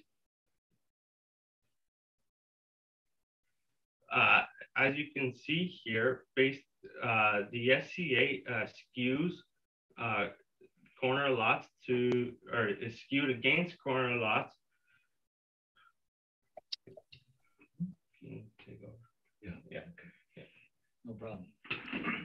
This lot, this diagram um, shows the disadvantages of being on a corner property when we are looking at an average uh, number or majority number of properties that are counted for the SCA and particular driveway widths. All corner properties, as we can see, will not benefit from a single wide driveway that would lead to parking along the interior side yards of any interior uh, lot. All the corner properties, because of the increased corner side yard setbacks, would force the building to the interior side yard leaving no room or not enough room to have parking um, in tandem, for example, uh, uh, through, through a driveway that would go along the interior yard. All the corner properties would um, um, show that the access to the property would be on the long length on the corner corner um, lots and would only ever be able to provide a maximum of two parking that um, this is absolutely the case in the entire block that we've, we've, uh, that we've uh, analyzed. So it's clear that the SCA that determines the width of the number of driveway widths that you are uh, permitted is based on the majority of lots, which happen to be interior lots on any type of SCA analysis. So our contention here is that we are being um, disadvantaged from being able to provide parking that is permitted as of right on interior lots of up to five parking spaces, and they're restricted to just one or two um, um, because of the nature of the geometry of how the, the built envelope needs to be placed on the lot. Next slide, please. We've looked at the uh, corners along Evelyn that are uh, that um, have properties that are very commensurate with the subject property. We've looked at 11 corner lots. Four of them have single wide driveways. Seven have double wide driveways or more.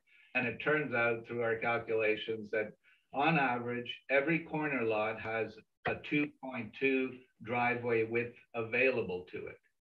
Furthermore, we looked at the amount of parking that was avail that is available on those lots um, for, and that ends up to be 43 total parking spaces for the corner lots, and that's about four parking spaces per corner. And I'll just remind you from the previous uh, slide or two slides that whereas all the interior lots have actually the potential of up to five parking spaces. The subject property actually only has one presently one parking space because the existing house moves is built into the rear yard and with one single wide driveway uh, coming off of Evelyn, there is only room for one parking space on the property. Next slide, please. These slides actually um, are an analysis of the figures that we've just gone through. So uh, for example, let's say take um, um, uh, let's say uh, number, the corner lot number five, there's a total here of four driveway widths on that property on Evelyn. That's, um, I'm not sure of the, anyways, it's number five and you can refer back to the reference map. This single corner uh, property with the image of that building right to the left of the plan there actually has eight parking spaces available and three garages, albeit the form is different, but the property is a corner property. Next slide, please. These complete the 11 lots that we've uh, analyzed. If we just take another one randomly, for example, number seven, this is another corner property. It has a total of seven parking spaces across four driveway widths. And we can see two of those driveway, uh, double uh, uh, wide driveway widths uh, lead to par uh, attached garages and space for parking in front of them. And at the bottom of the plan there, we see uh, three more parking spaces on a double wide um, a double wide driveway, one of which is in a garage. So it's very clear that the corner lot provisions or the corner lot as built environment uh, within 11 corner properties um, show an average of, of I think about uh, 2.2 uh, parking spaces per property. Next slide, please. Um, the existing building, when purchased, I think we were looking at a, a building that was in the on the left-hand side of the screen there. You can see the uh, driveway um, that led to a parking. Over time, um, the clients purchased it, renovated it. And you can see in the upper right, uh, the renovated building as it exists presently, and then below it, the proposal. The uh, clients, our clients, the owners uh, purchased the property, I think about eight or 10 years ago at that time. I beg your pardon? Sorry, three years ago at that time. Uh, since then have started a young family and have invested quite a bit of their time to renovate the existing house um, because they plan to stay here and raise their family. Uh, that was the main purpose for many of the for, for the addition and the work that we've done, uh, which includes uh, a two-story addition on the front of the building, the renovated um, um, access to uh, the secondary dwelling unit on the left there, as well as garbage storage and the deck above, and then to the right. Uh, is the double car garage that they both require as young professionals, as professionals, and to safely um, uh, um, embark with their, their children and exit uh, their children on site. Next slide.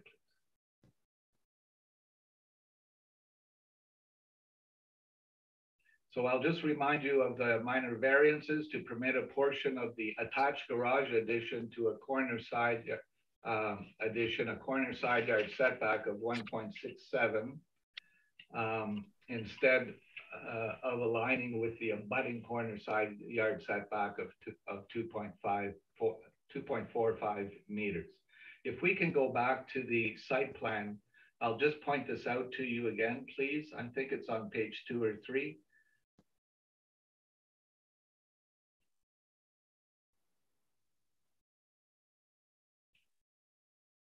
Is this the right slide? No. Um, maybe maybe Next four. One. Sorry, Four, please. Five. Thank you. I'm not sure if we can zoom in there. Oh, thank you. You read my mind. Um, the corner, uh, because of the geometry of the site, which is skewed, the original building was built parallel to the interior side yard to the north there. The addition is also parallel to the house. It only makes sense. The depth of the addition for the garage is just barely what we need to be able to uh, park two cars uh, side by side. Um, mind you, the front yard setback is met here. It meets the front yard setback, but the interior side yard uh, requires a variance of 0.6 meters um, rather than 1.2. And that area is hatched uh, in gold at the top of the garage. Again, the garage inside is 18 feet with the wall thicknesses. We had to locate it there. This uh, side yard setback actually is quite commensurate with the interior side yard setbacks that are permitted for any interior lot. The total side yard setback for an R3P zone interior lot is 1.8 meters, and one of those side yards can be 0.6 meters. And this is what we're providing. I'll remind you of the map of the block. Every property that is abutting a driveway has a 0.6 meter side yard setback along that abutting driveway or less in the entire block.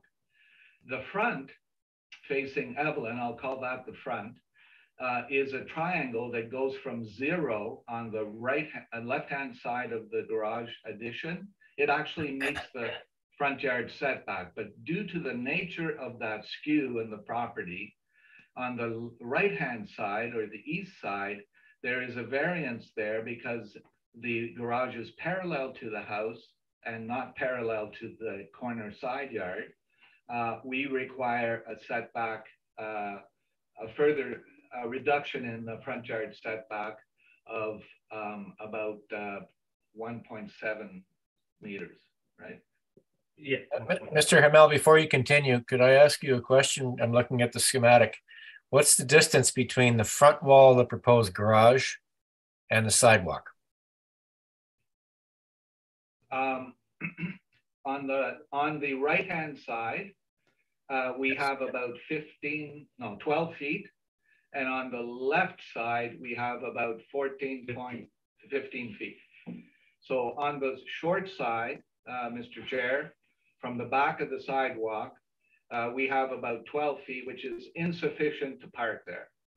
On the deeper side, on the left-hand side, it's only 15 feet, and most cars are about 15 feet or 16 feet. An average car is 16 feet there is never going to be an opportunity to uh, park uh, a standard size car in on the driveway leading to the garage. And that's a point that I think we, we, we we're, we're also like wanting to highlight for you. So that, that driveway pad uh, that driveway uh, uh, expanse of, of uh, that expansive driveway will never will always be clear of obstructions from, from vehicles unless I guess you have a motorcycle or or a mini or something. Is, does that answer your question, Mr. Chair? Yeah. Thank you, Mr. Hamel. So really that corner, that intrusion into the corner side yard is due entirely to the skewed nature of the property line that is the corner side property line. The green line, since we're here, is again based on that skewed corner, the area that the front of the garage ought to be set back to be behind the entrance. Our entire uh, argument here, Mr. Chair, is that the existing house is parallel to the rear lot line the viewing of that garage that is also parallel to the rear lot line and the rest of the house will be perceived to be behind the frontmost portion of the building. In fact, it is about five feet, 1.5 meters further back from the front leading edge of the second story addition that is being proposed and that is at the front yard set or the corner side yard setback.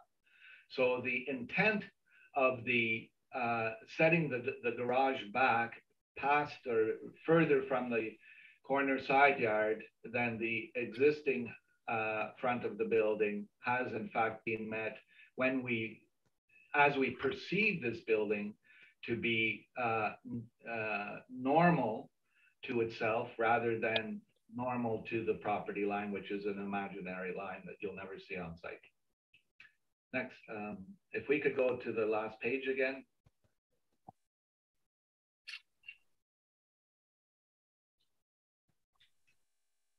So I have talked about the uh, 0.6 meter rear yard setback and keeping in mind, of course, it's only for the garage. The rest of the house is, uh, is at 1.2 meters and it's also abutting a laneway, uh, the, the um, uh, neighbor's driveway. And finally, on that point, uh, there's an existing shed that is even closer to the interior side yard setback, which uh, if this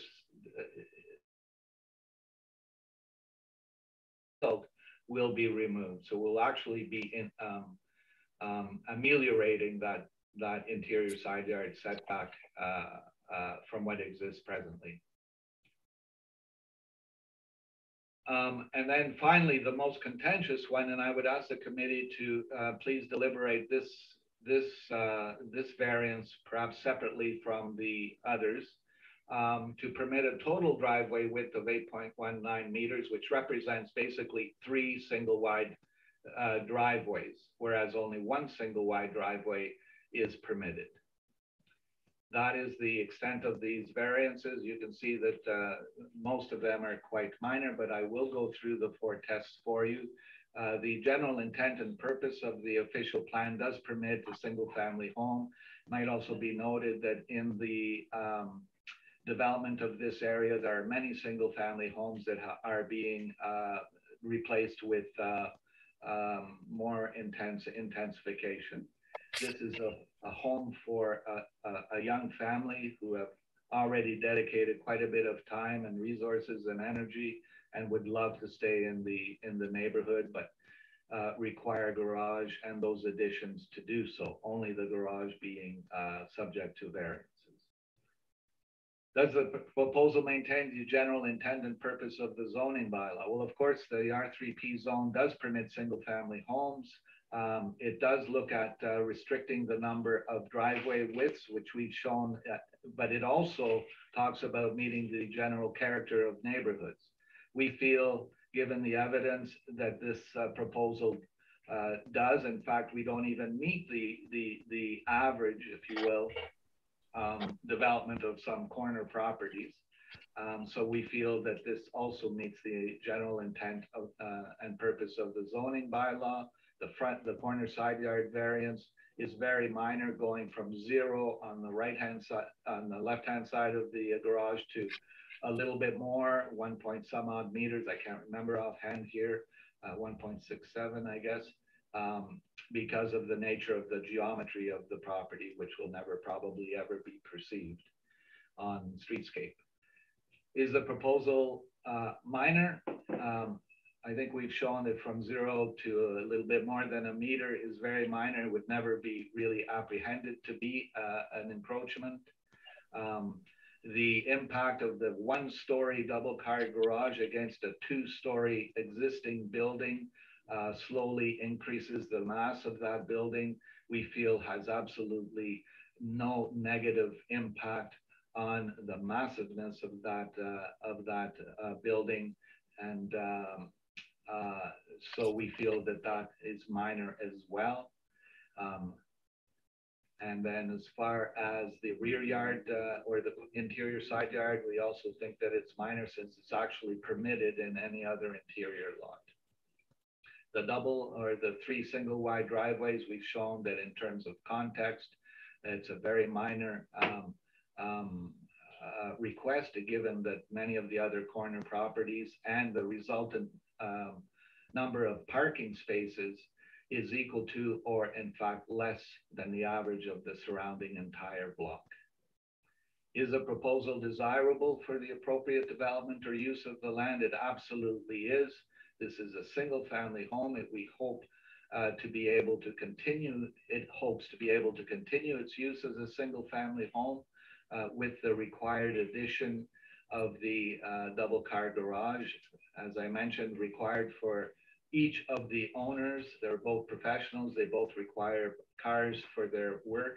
And more importantly, um, I would contend that uh, the safe uh, um, access and exiting of these vehicles uh, for their young children will be safest on site rather than crossing a narrow one-way street or not quite one way yet. I guess it starts one way just to the uh, west of it. Um, and having to cross the street two, three times a day with their ch- with their children, uh, it makes no sense to do that when there is an available, easy available way to accommodate that on this property.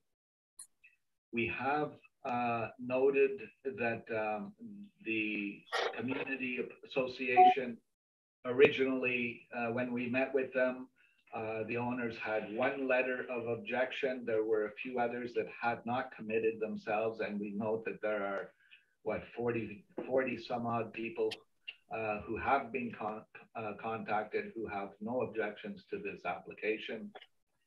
Um, and uh, again, I'll just reiterate that the councillor's office had no, no objection to this application either.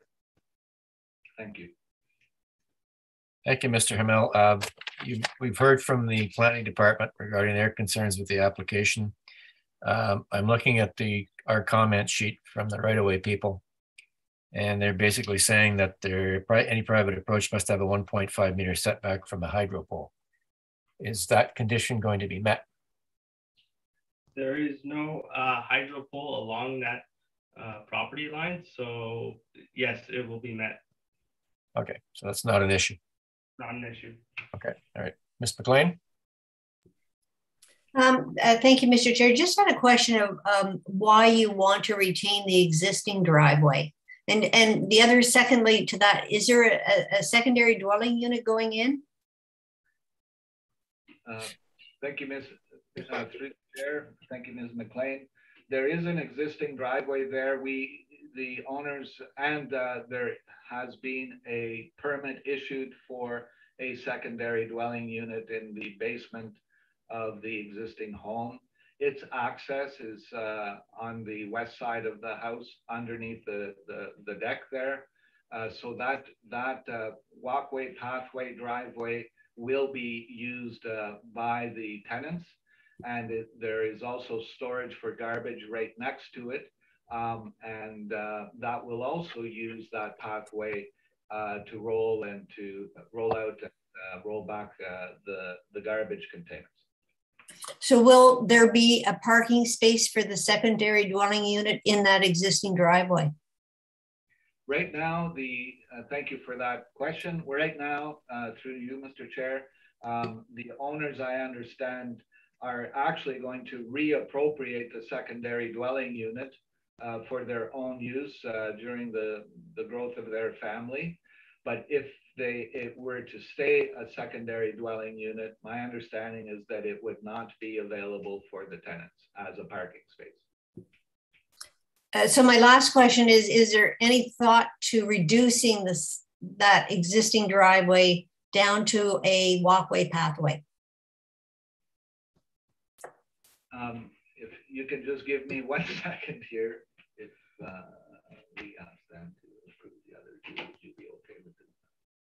Well, we have older parents, you know, we'd like to be able to accommodate them on site when they discuss. That would be a strong concern for us and for our own safety as well. Um, just uh, the owners have informed me that um, they are looking forward to having their parents uh, um, come and visit or be with them for a while and would appreciate that to remain as a parking space for them. Okay, thank you. Any other questions from the members of the committee regarding this application? We have a number of uh, speakers from the neighborhood who uh, wish to weigh in on this uh, on this application. And I'll start with the Old Ottawa East Community Association. Is Mr. Dance there? Thank you. Thank you, Chair, uh, Chair, Mr. Chair. I appreciate that. Um, your, address, the, your ad, for the record, oh, Mr. Dance, me. your address first. Absolutely. John Dance, 68 McNaughton Avenue, Ottawa. I'm uh, chair of the Old Ottawa East uh, Planning Committee. Um, back February 1st, the uh, applicants met with the uh, Planning Committee and uh, they were very forthcoming. Um, we appreciate their initiative that they took um, indeed, one of the things that came out of that meeting, we said we wouldn't oppose And we also, uh, they also said that they would plant some significant uh, larger trees at, at the east, and this was seen as a positive thing.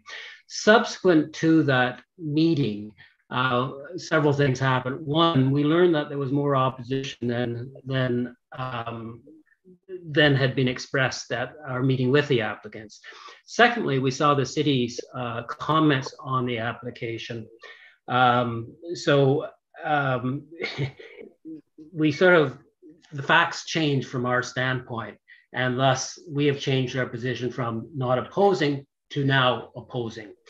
Um, the the critical thing is that as per the city's analysis, as as said earlier, um, you know, what's being proposed is to have about eight meters of uh, driveway access versus the three that's allowed. And to us, this is far beyond what what the well, is far beyond what is, is is not minor at all. And I appreciate it's a corner lot, um, and there may be differences in other corner lots, but if anybody was coming forward to seek uh, eight meters elsewhere, that would also be opposed. I don't, frankly, don't know how the how the ones that were cited in the analysis were approved in the past, but they wouldn't be. And I would stress that in terms of what the official plan is and how the lengthy process we went through for the new official plan. We had the chief planner uh, come and talk with us, and he assured us that with the and with the um, insistence on a single three meter driveway, the streetscape character of our community uh, in, in such a zone as uh, the applicants are would be maintained. But instead, we're talking about a separate driveway and then a, a double driveway. And to us, it just seems far from minor and it should not be approved. So those are the key points. Again, I, I do commend the applicants for coming forward and bringing this to us. It's just that subsequent to that, we read the city's council comments and we didn't ha have them before. And secondly, we've talked to, to the neighbors and we hadn't had that opportunity to do that. So I do appreciate this opportunity, Mr. Chairman. Thank you. So uh, as far as the variances are concerned, Mr. Danson, I'm sure you're aware of them.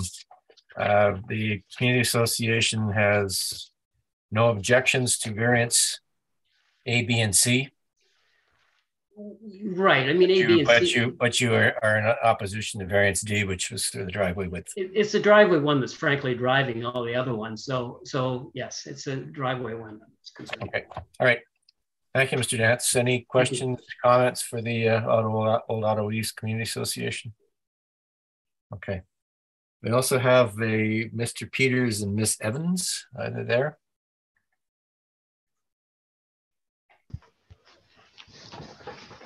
Yes, I'm here. Can you hear me? Yep. Mr. Peters, your address for the record, please. Yes, sure.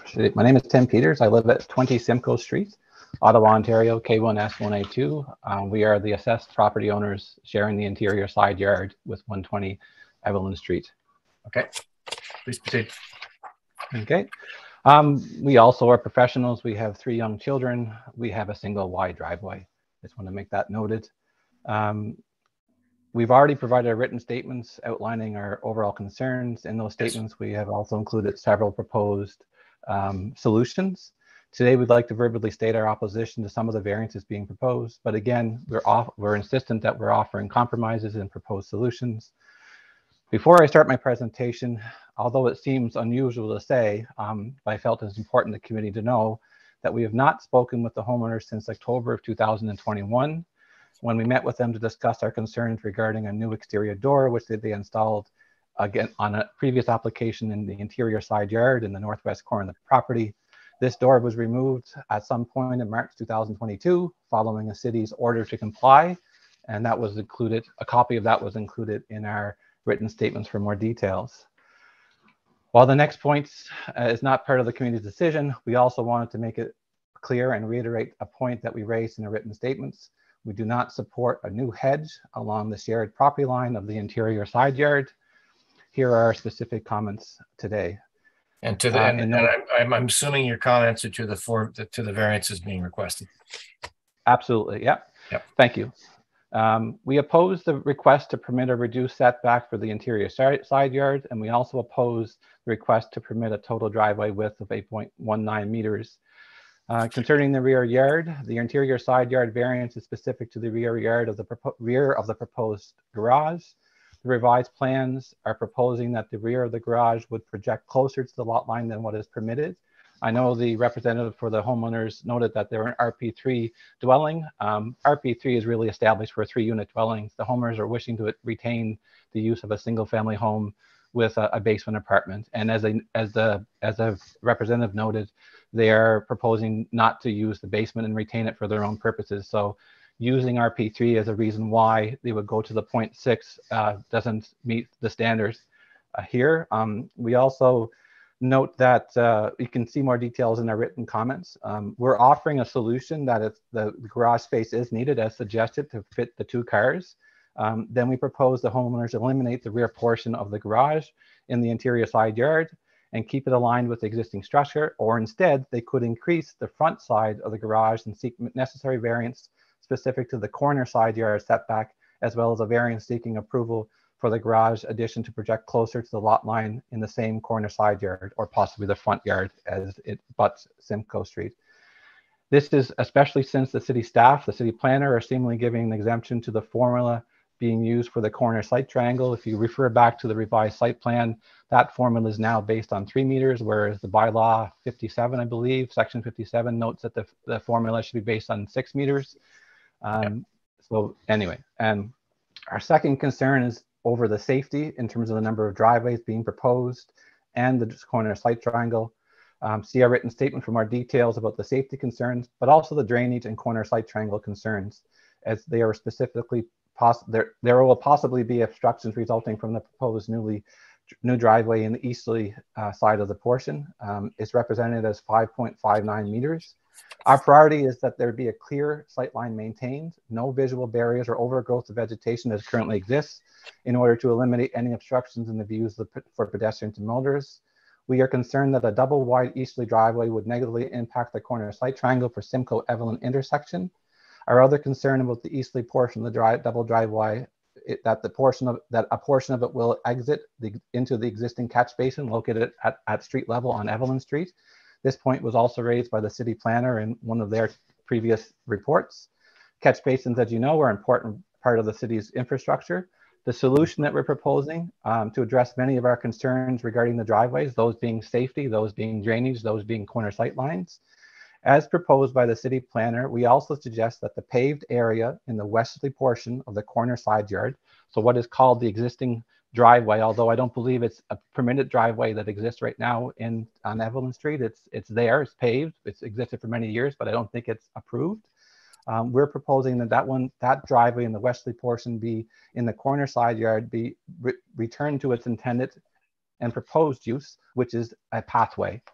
And our other proposal in terms of a solution to our, our, our concerns with this is that the, the new double wide driveway in the easterly portion of the corner side yard be revised so that only the top portion of the double wide driveway at the entrance be retained and that it narrows to a single width at the street level.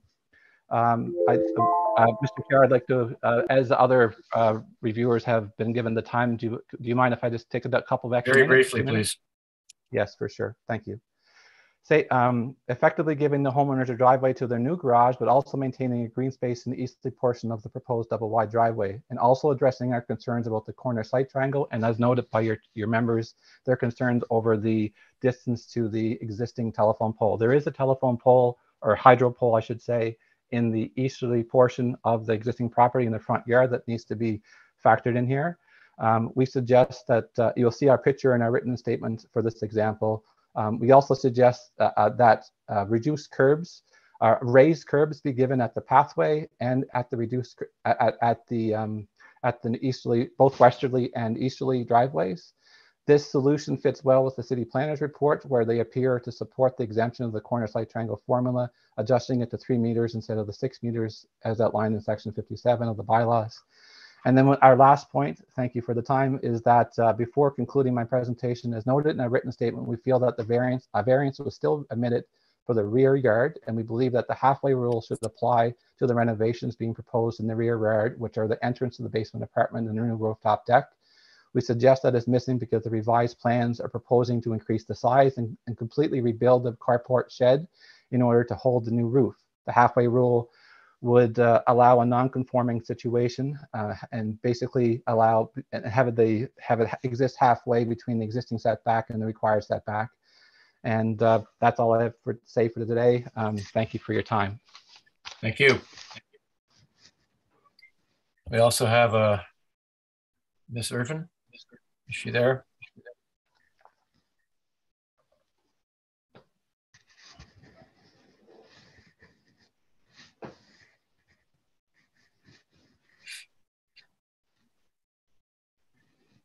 Are you there, Miss Irvin? Oh, here I am. All right. Okay. Uh, Susan Irvin. Yeah, and please, please proceed, but uh, I would ask you not to reiterate points already made by your other neighbors. Right. Uh, Susan Irvin, 143 Concord Street South. Mm -hmm. um, I signed a letter, I sent a letter of comments to you, along yes, with my husband, that. Robert Webb and the two neighbors at 18 Simcoe Street. Um, I do not have a lot to add now that Tim's been so thorough. I do support his, uh, we all support his uh, propositions to change and maybe um, alter that double driveway that we can all accept. My main concerns were um, towards the shared lane, the shared alleyway, which is on the west side of the building and the fact that the shed to support a rooftop deck uh, would not support the weight of a rooftop deck. It has to be removed. Is my understanding is that if a non-conforming building like that is demolished and a new structure put in place, that it would have to comply with the setbacks. Is that true? I believe so then why is that variance not requested in their application? And this is the second time I've asked that, that if that comes down, it has to come down. Mr. Hamilton, perhaps you can answer the, uh, the neighbor's question. Thank you, Mr. Chair. Uh, the existing shed, or I guess it's a, it's a garage, is attached to the house and is part of the dwelling.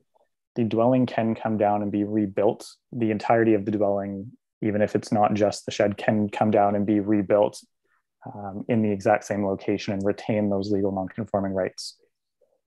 But you can look at the picture of the uh, cover of the application. It is not attached to the house. I mean, it's leaning against the house. But the fact it's built abuts to the property line, it actually, the chain link fence of the property line actually runs through the shed. So it has to come down. And it can't, as far as I'm concerned, it, it should ask for a setback from that shared alley property line. The, the stairs from their proposed deck, if you can look at the renderings, run right into the chain link fence at the property line. So their front step onto that deck is actually in the shared alleyway. Okay. Anything else, ma'am? Nope. Oh, I, I, am concerned about the visibility on all these driveways going uh, all up, up, Evelyn Street. There's a raised hedge which goes up at least six to eight feet tall, which would encompass, or at least one driveway would come out on one side of it, another, the apparently existing driveway uh, next to the alley, which you know they park there. I guess is an existing driveway. It's the one we want reduced to a pathway. Um, it blocks all uh, visibility. Okay. All right. Thank all right. You. Thank you. And I think our final speaker, Edward and Kate June. John, is he there? Uh, good afternoon, Mr. Chair. Can you hear me? Yep. Your address for the record, please. It's uh, 147 Concord Street South, and my house is across the public laneway northwest of 121 Evelyn Street. Okay, so without without reiterating your neighbor's concerns, your comments, please. Absolutely, sir. So the current plan presented in front of you by the residents of 121, uh, they're basically the same as was presented in front of you back in April. Uh, in fact, the only difference here is that this time around, they're actually seeking a wider total driveway width of 8.19 meters, right? Yeah. So, Mr. Chair, the existing structure uh, that was being talked about, um, yes, I understand Mr. Hamilton's point, uh, but uh, I'd like to uh, focus your attention sort of to the uh, staircase that actually has an exit out of that uh, you know structure that's right against the lot line. So uh, my kids, uh, their friends, uh, they you know go to school uh, using that laneway. I use that laneway on a daily basis. so you know it's it's going to protrude onto this public laneway. So does this not require a minor variance of its own? The fact that there is an entrance and exit into the property. Okay. Perhaps I could continue and get, uh, get the answers at the end there. So I strongly respect the concerns raised by the city staff that anything more than a single driveway width is really at odds with the dominant characteristics of the neighborhood. Uh, perhaps an acceptable compromise would be what uh, my friend from uh, 20 Simcoe suggested, uh, like an angled eastern driveway. Uh, but Mr. Chair, if you and the panel decide to approve the double garage and the double width driveway on the eastern side, I would ask that the sidewalk and the curb on the western single driveway uh, be raised so that it is used as a walkway. Okay. Okay, so I believe I have some time here. So something needs to be said about representation and consultation that was part of this uh, hearing. So in their submission today, slide 4.3, uh, the agent uh, described uh, several properties in the area with large driveways uh, in an attempt to demonstrate that this is a norm in Old Ottawa East. In fact, that, those are not the norm; those are the outliers. Uh, if you look at 110 Evelyn, um, it's portrayed as having a triple wide driveway, but this driveway is actually shared between two separate properties. Uh, likewise, 162 Concord uh, does have a double garage and a driveway, but in fact, they're they're split in half. One belongs to one property on the Concord South, the other their neighbors in an attached fourplex, correction, uh, and uh, row house. And uh, I'd like to focus your attention, Mr. Chair, to the neighbors contacted page and the plans. Uh, so at first glance, that's the overhead color coded map. So at first glance, like you see lots of green, it shows the neighborhood that supported the plans. Uh, so I've seen that and I've contacted the six households that are showing green that are closest to me on Concord Street South. Of those six, only half, only three of them were supportive. They say, you know, they should be greens because that's what the legend says, right? Green is supportive. So the residents and owners of 144 Concord and 140 Concord were actually vehemently opposed and they were appalled that they were showing up as green. The residents of 141 uh, were neutral. And when they met up with the neighbor, uh, with, with the residents of 121, uh, you know, they actually said that they did not want to provide a letter of support. So they should not have shown up as green. So, Mr. Chair, how credible is this information presented in front of you and the panels in this neighborhood contacted map? Is there really overwhelming neighborhood support for the plans of 121 Evelyn? I ask you to reflect on that, please. Thank you for your time. Uh, frankly, frankly, sir, when we uh, when we look at the evidence, um, input from neighbors like that and, and support is taken certainly taken into account, but it is not our primary concern. So understood, sir. I just wanted to bring this up to the yeah. attention, to your attention, and the attention of yeah. the panel members. Because there is there is no requirement from us to have public consultation on these matters, as you know, and it's uh, and applicants reach out. Um, we assume that they have good intentions. Anyway, thank you very much for your input. All right, Mr. Hamel, you've heard uh, from from the association and from three nearby residents who have serious concerns with your application. Would you like to respond? Yes, thank you. Um, maybe I can just go back to Mr. Peters' uh, comments here. Just mostly, I understand their concerns. Um, um, uh, our position is that these uh, variances are in fact minor and desirable for the continued property uh, as a single family home, but I'll just make a few comments. I did verify in the R3P zone uh, the comment that was raised by Mr. Peters that a, a 0.6 interior side yard setback was not permitted. And in fact, it is permitted. Um, with respect to the corner side yard or the corner sight triangle, um, if we go back to the site plan, you will see uh, that the corner sight triangle of three meters was uh, confirmed uh, with planning.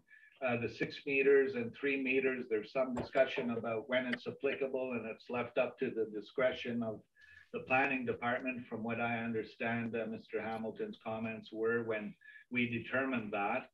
Um, the six meters would in fact uh, be intruded on a little bit by that outermost uh, uh, corner of the proposed garage. However, we are uh, removing all of the vegetation that is presently inhibiting any view across that corner sight triangle.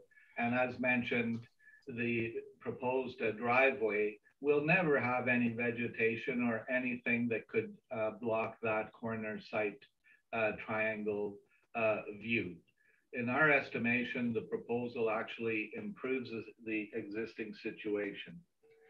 With respect to some of the comments that were made with a share uh, with a shared uh, uh, hedge, I think during discussions and uh, whatever wherever it ended up, um, that hedge, which is on the northern property line, from what I understand, was in fact uh, requested but I can't be sure by the owners in an effort to, as a result of their discussions with their neighbors to the north.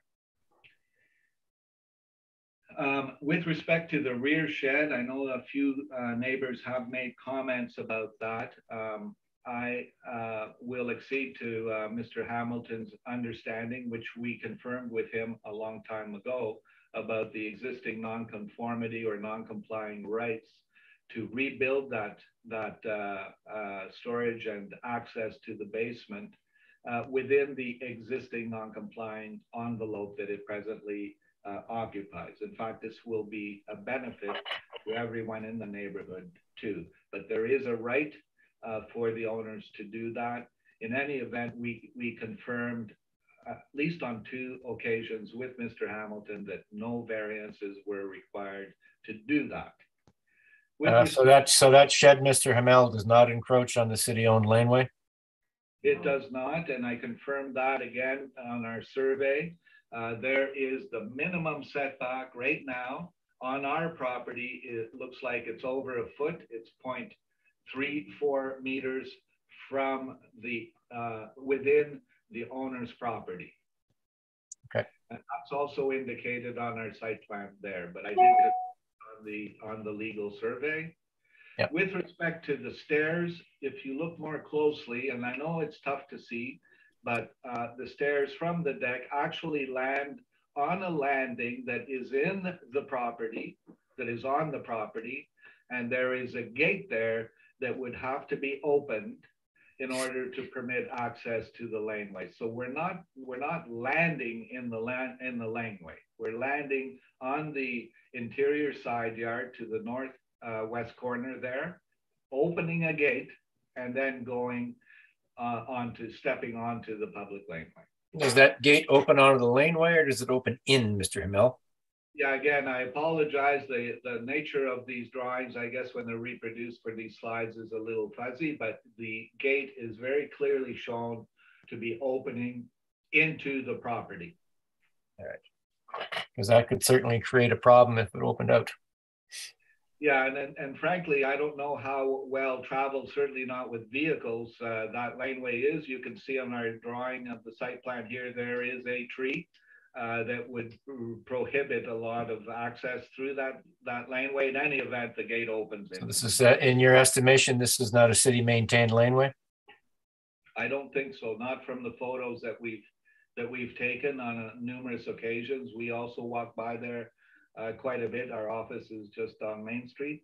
Um, and uh, it doesn't look maintained. In fact, in the wintertime, I think there are some pathways on the snow that, if I recall, uh, leading into the laneway, but they're certainly not vehicular pathways. And along that laneway, there are accesses to parking? Nope. Yes? I don't think so. There's zero parking from the laneway. All the interior properties have access from uh, the roads, the public uh, right of ways. All right. Anything, anything further, Mr. Uh, Mr. Hamel regarding the uh, neighbors' yeah. comments? Sure. Um, I think uh, Mr. Uh, Young, um, uh, well, let me just say uh, that Susan uh, Irving had uh, concerns about that shed being non-compliant. I thought that Mr. Hamilton's response was pretty clear. Um, Mr. Young had concerns about that landing onto the laneway and also that in his experience, the um, neighbors that were contacted that we've shown in green uh, were in fact uh, not supportive. I confirmed with the owners that every one of those green dots were uh, placed on that map as a result of their signed letters of support. Right. Thank you, Mr. Chair. And that's uh, that, so that that concludes your presentation, Mr. Uh, um, Mr. Hamel. Mr. Chair, is there, uh, I think uh, the owners would like an opportunity to address some of these points as well. Is that is that permissible? Certainly, they're the property owners. Hello, Mr. Chair. Thank you for the time and thank you to the committee. Uh, my name is Jeff Gordon. I'm one of the owners at 121 Evelyn who are providing this application to you today. This is my wife, Anna Fayed um, uh, We'd like to thank, obviously, the committee. We'd like to thank Mr. Hamilton for his collaboration. I'd like to thank Jock and his team. And we'd also like to thank uh, all our neighbors, including those there today, um, for their, their comments and for the vast uh, amount of support that we've received for our application in the neighborhood. Uh, a little bit about us, we're longtime residents of the neighborhood. We've lived in the neighborhood for 16 years. Uh, we like to tell people that we've kind of done the tour. We've lived on Lees, Hawthorne twice, Simcoe, and now Evelyn. Um, as mentioned previously, we are uh, we are a young growing family. We have a four-year-old boy uh, and a one-year-old daughter. And um, the the genesis of this whole application, to be quite frank with you, is the fact that we do love this neighborhood with our dear hearts. We love the neighborhood. We love where we are. We want to stay here for a long time. And as parents, on this call, I think everybody can appreciate the desire to raise a family in the neighborhood that you've lived in for your basically entire adult life. Why are we doing this? Well, it was actually during the pandemic that our daughter was born. And growing families like that, their needs change. And that's what happened to us. And unlike a lot of people who actually wanted to move out of the city center, wanted to move to suburbs, rural, and by nature become more car dependent, further away from the amenities, further away from the things that we love about the city and the neighborhood and the culture. We, we actually had the inverse decision. We said we want to stay here and we want to firmly plant our roots for the future. I, I think that Uh, after making that decision, we did think for a while, well, maybe we could do this on our own. We quickly learned that we were in above our heads, which is why we engaged Mr. Hamel and his, and his firm. We chose Mr. Hamel for a very specific reason. As mentioned, he's on Main Street. He understands very well the character of the neighborhood and the history. And we felt that it was appropriate to have somebody who had that connection to where we lived. We engaged Mr. Hamel and yes, there are other parts of this eventual plan that we'd like to see come true on, on the plans that are presented ahead of you. Obviously, the only thing requiring variances relates to the garage. So let me speak to the garage. Uh, right away because that is obviously the crux of the issue. We currently have two young children. We have daycares in Elmvale Acres. We have activities. I play hockey goalie, for example. I have to lug my equipment around, you know, to the arenas, U of O. Um, but right now, unfortunately, crossing that street every day onto Evelyn because the parking is on the south side with young children has proved exceedingly dangerous. We've had too many close calls today to date I don't think there's anybody on this call who, at the end of the day who would say that minor variances are worth more than a potentially catastrophic injury to a child. And everybody else on this call is a, is a, is a, is a parent too. And we ask them simply to be recogni recognizing of that fact. And that is really the ultimate crux of the issue. Yes, it's for us too. We don't like that either. Yes, it's for our elderly parents, but it's for our kids. There are small benefits, for example, to the ease of waste collection, to the ease of snow removal, we want to put an electric charger in our in our in our garage. um, that are ancillary benefits, but at the ultimate end of the day, it's about getting off the street, getting cars off the street. And as demonstrated previously, this is actually not adding any new vehicles outside of the house. Every vehicle that is going to be parked in that garage will be fully within the garage because it's physically not possible to park in front. So there's no cars being added to the outside of the property, so to speak. I would like to speak specifically to, Mr. Chair, please, to our one neighbor because of the configuration of our lots. We're on a lane, we're next to the laneway. We only have one shared lot line, which is with our, our, our neighbors at 20 Simcoe. And it's we, we focused a very large amount of our time talking and working with them as from the moment this became an idea until it had concrete plans. As everybody can see on the plans in front of them, we're on revision 19. So this was far from rushed. We tried our best and we told Mr. Hamel right from day one, we want you to help come up with something that's going to look like it fits into the character of the neighborhood. And I think you did a great job. We, we engaged Mr. Hamel in April 2021. Uh, it's been a year and a half since this application was submitted. Once again, far from rushed. I would like to uh, tell the committee uh, that with regards to our neighbors at 20 Simcoe, we spoke to them right from the get-go when it was an idea, all the way up to providing them with concrete plans when it became a real idea. And on, as Mr. Uh, Peters mentioned, we did meet out front of our house in the fall of 2021, and he shook my hand after much deliberation because he didn't want rear windows, he didn't want a second story, he didn't want a rooftop patio, any of that. We didn't include any of that. We even agreed, although subsequently like he's changed his mind, to remove the hedge, to, to, to do a hedge between our properties to increase the privacy, unrelated to this application, but it's something we agreed on. He shook my hand, he said, we have no problem with your application anymore. And quite frankly, we were relieved because that meant that the neighbors behind, to the side, and across all had no objection. So we really felt at that time we were comfortable proceeding with our application, which is what we did for the April hearing. When the question of whether a sight triangle uh, issue was still possible during the April hearing, once again, in an abundance of caution um, and uh, out of a respect for the committee and the process, we withdrew our applications just to ensure that there were no question marks with regards to that corner sight triangle the fact that the, that our neighbor at 20 Simcoe uh, changed his mind and, and did submit a, a, letter of concern after the fact is obviously his right, and we totally respect that. We only wish that subsequent to that handshake and that word that he gave us, that he'd come and spoken to us first, and that's all we would have asked. Thank them for their inputs. We have a vast majority of support, and with that, I see Mr. Wilder asking for me to shut up, so I will. yeah. Thank you very much. Thank you very much. Well, I think the committee is going to reserve on this application. We have heard uh, we have heard from the applicant, we have heard from the applicant's agent, we have heard from concerned neighbors, we have heard from the community association, and we have uh, further discussions before we uh, render a decision. So we'll reserve on this application. Thank you all. And uh, the application decision will be released in 10 days. Thank you very much. Thank you. Thank you. Okay. And I believe that concludes the, the agenda for the 7th of September. So we will uh, thank you very much for participating and we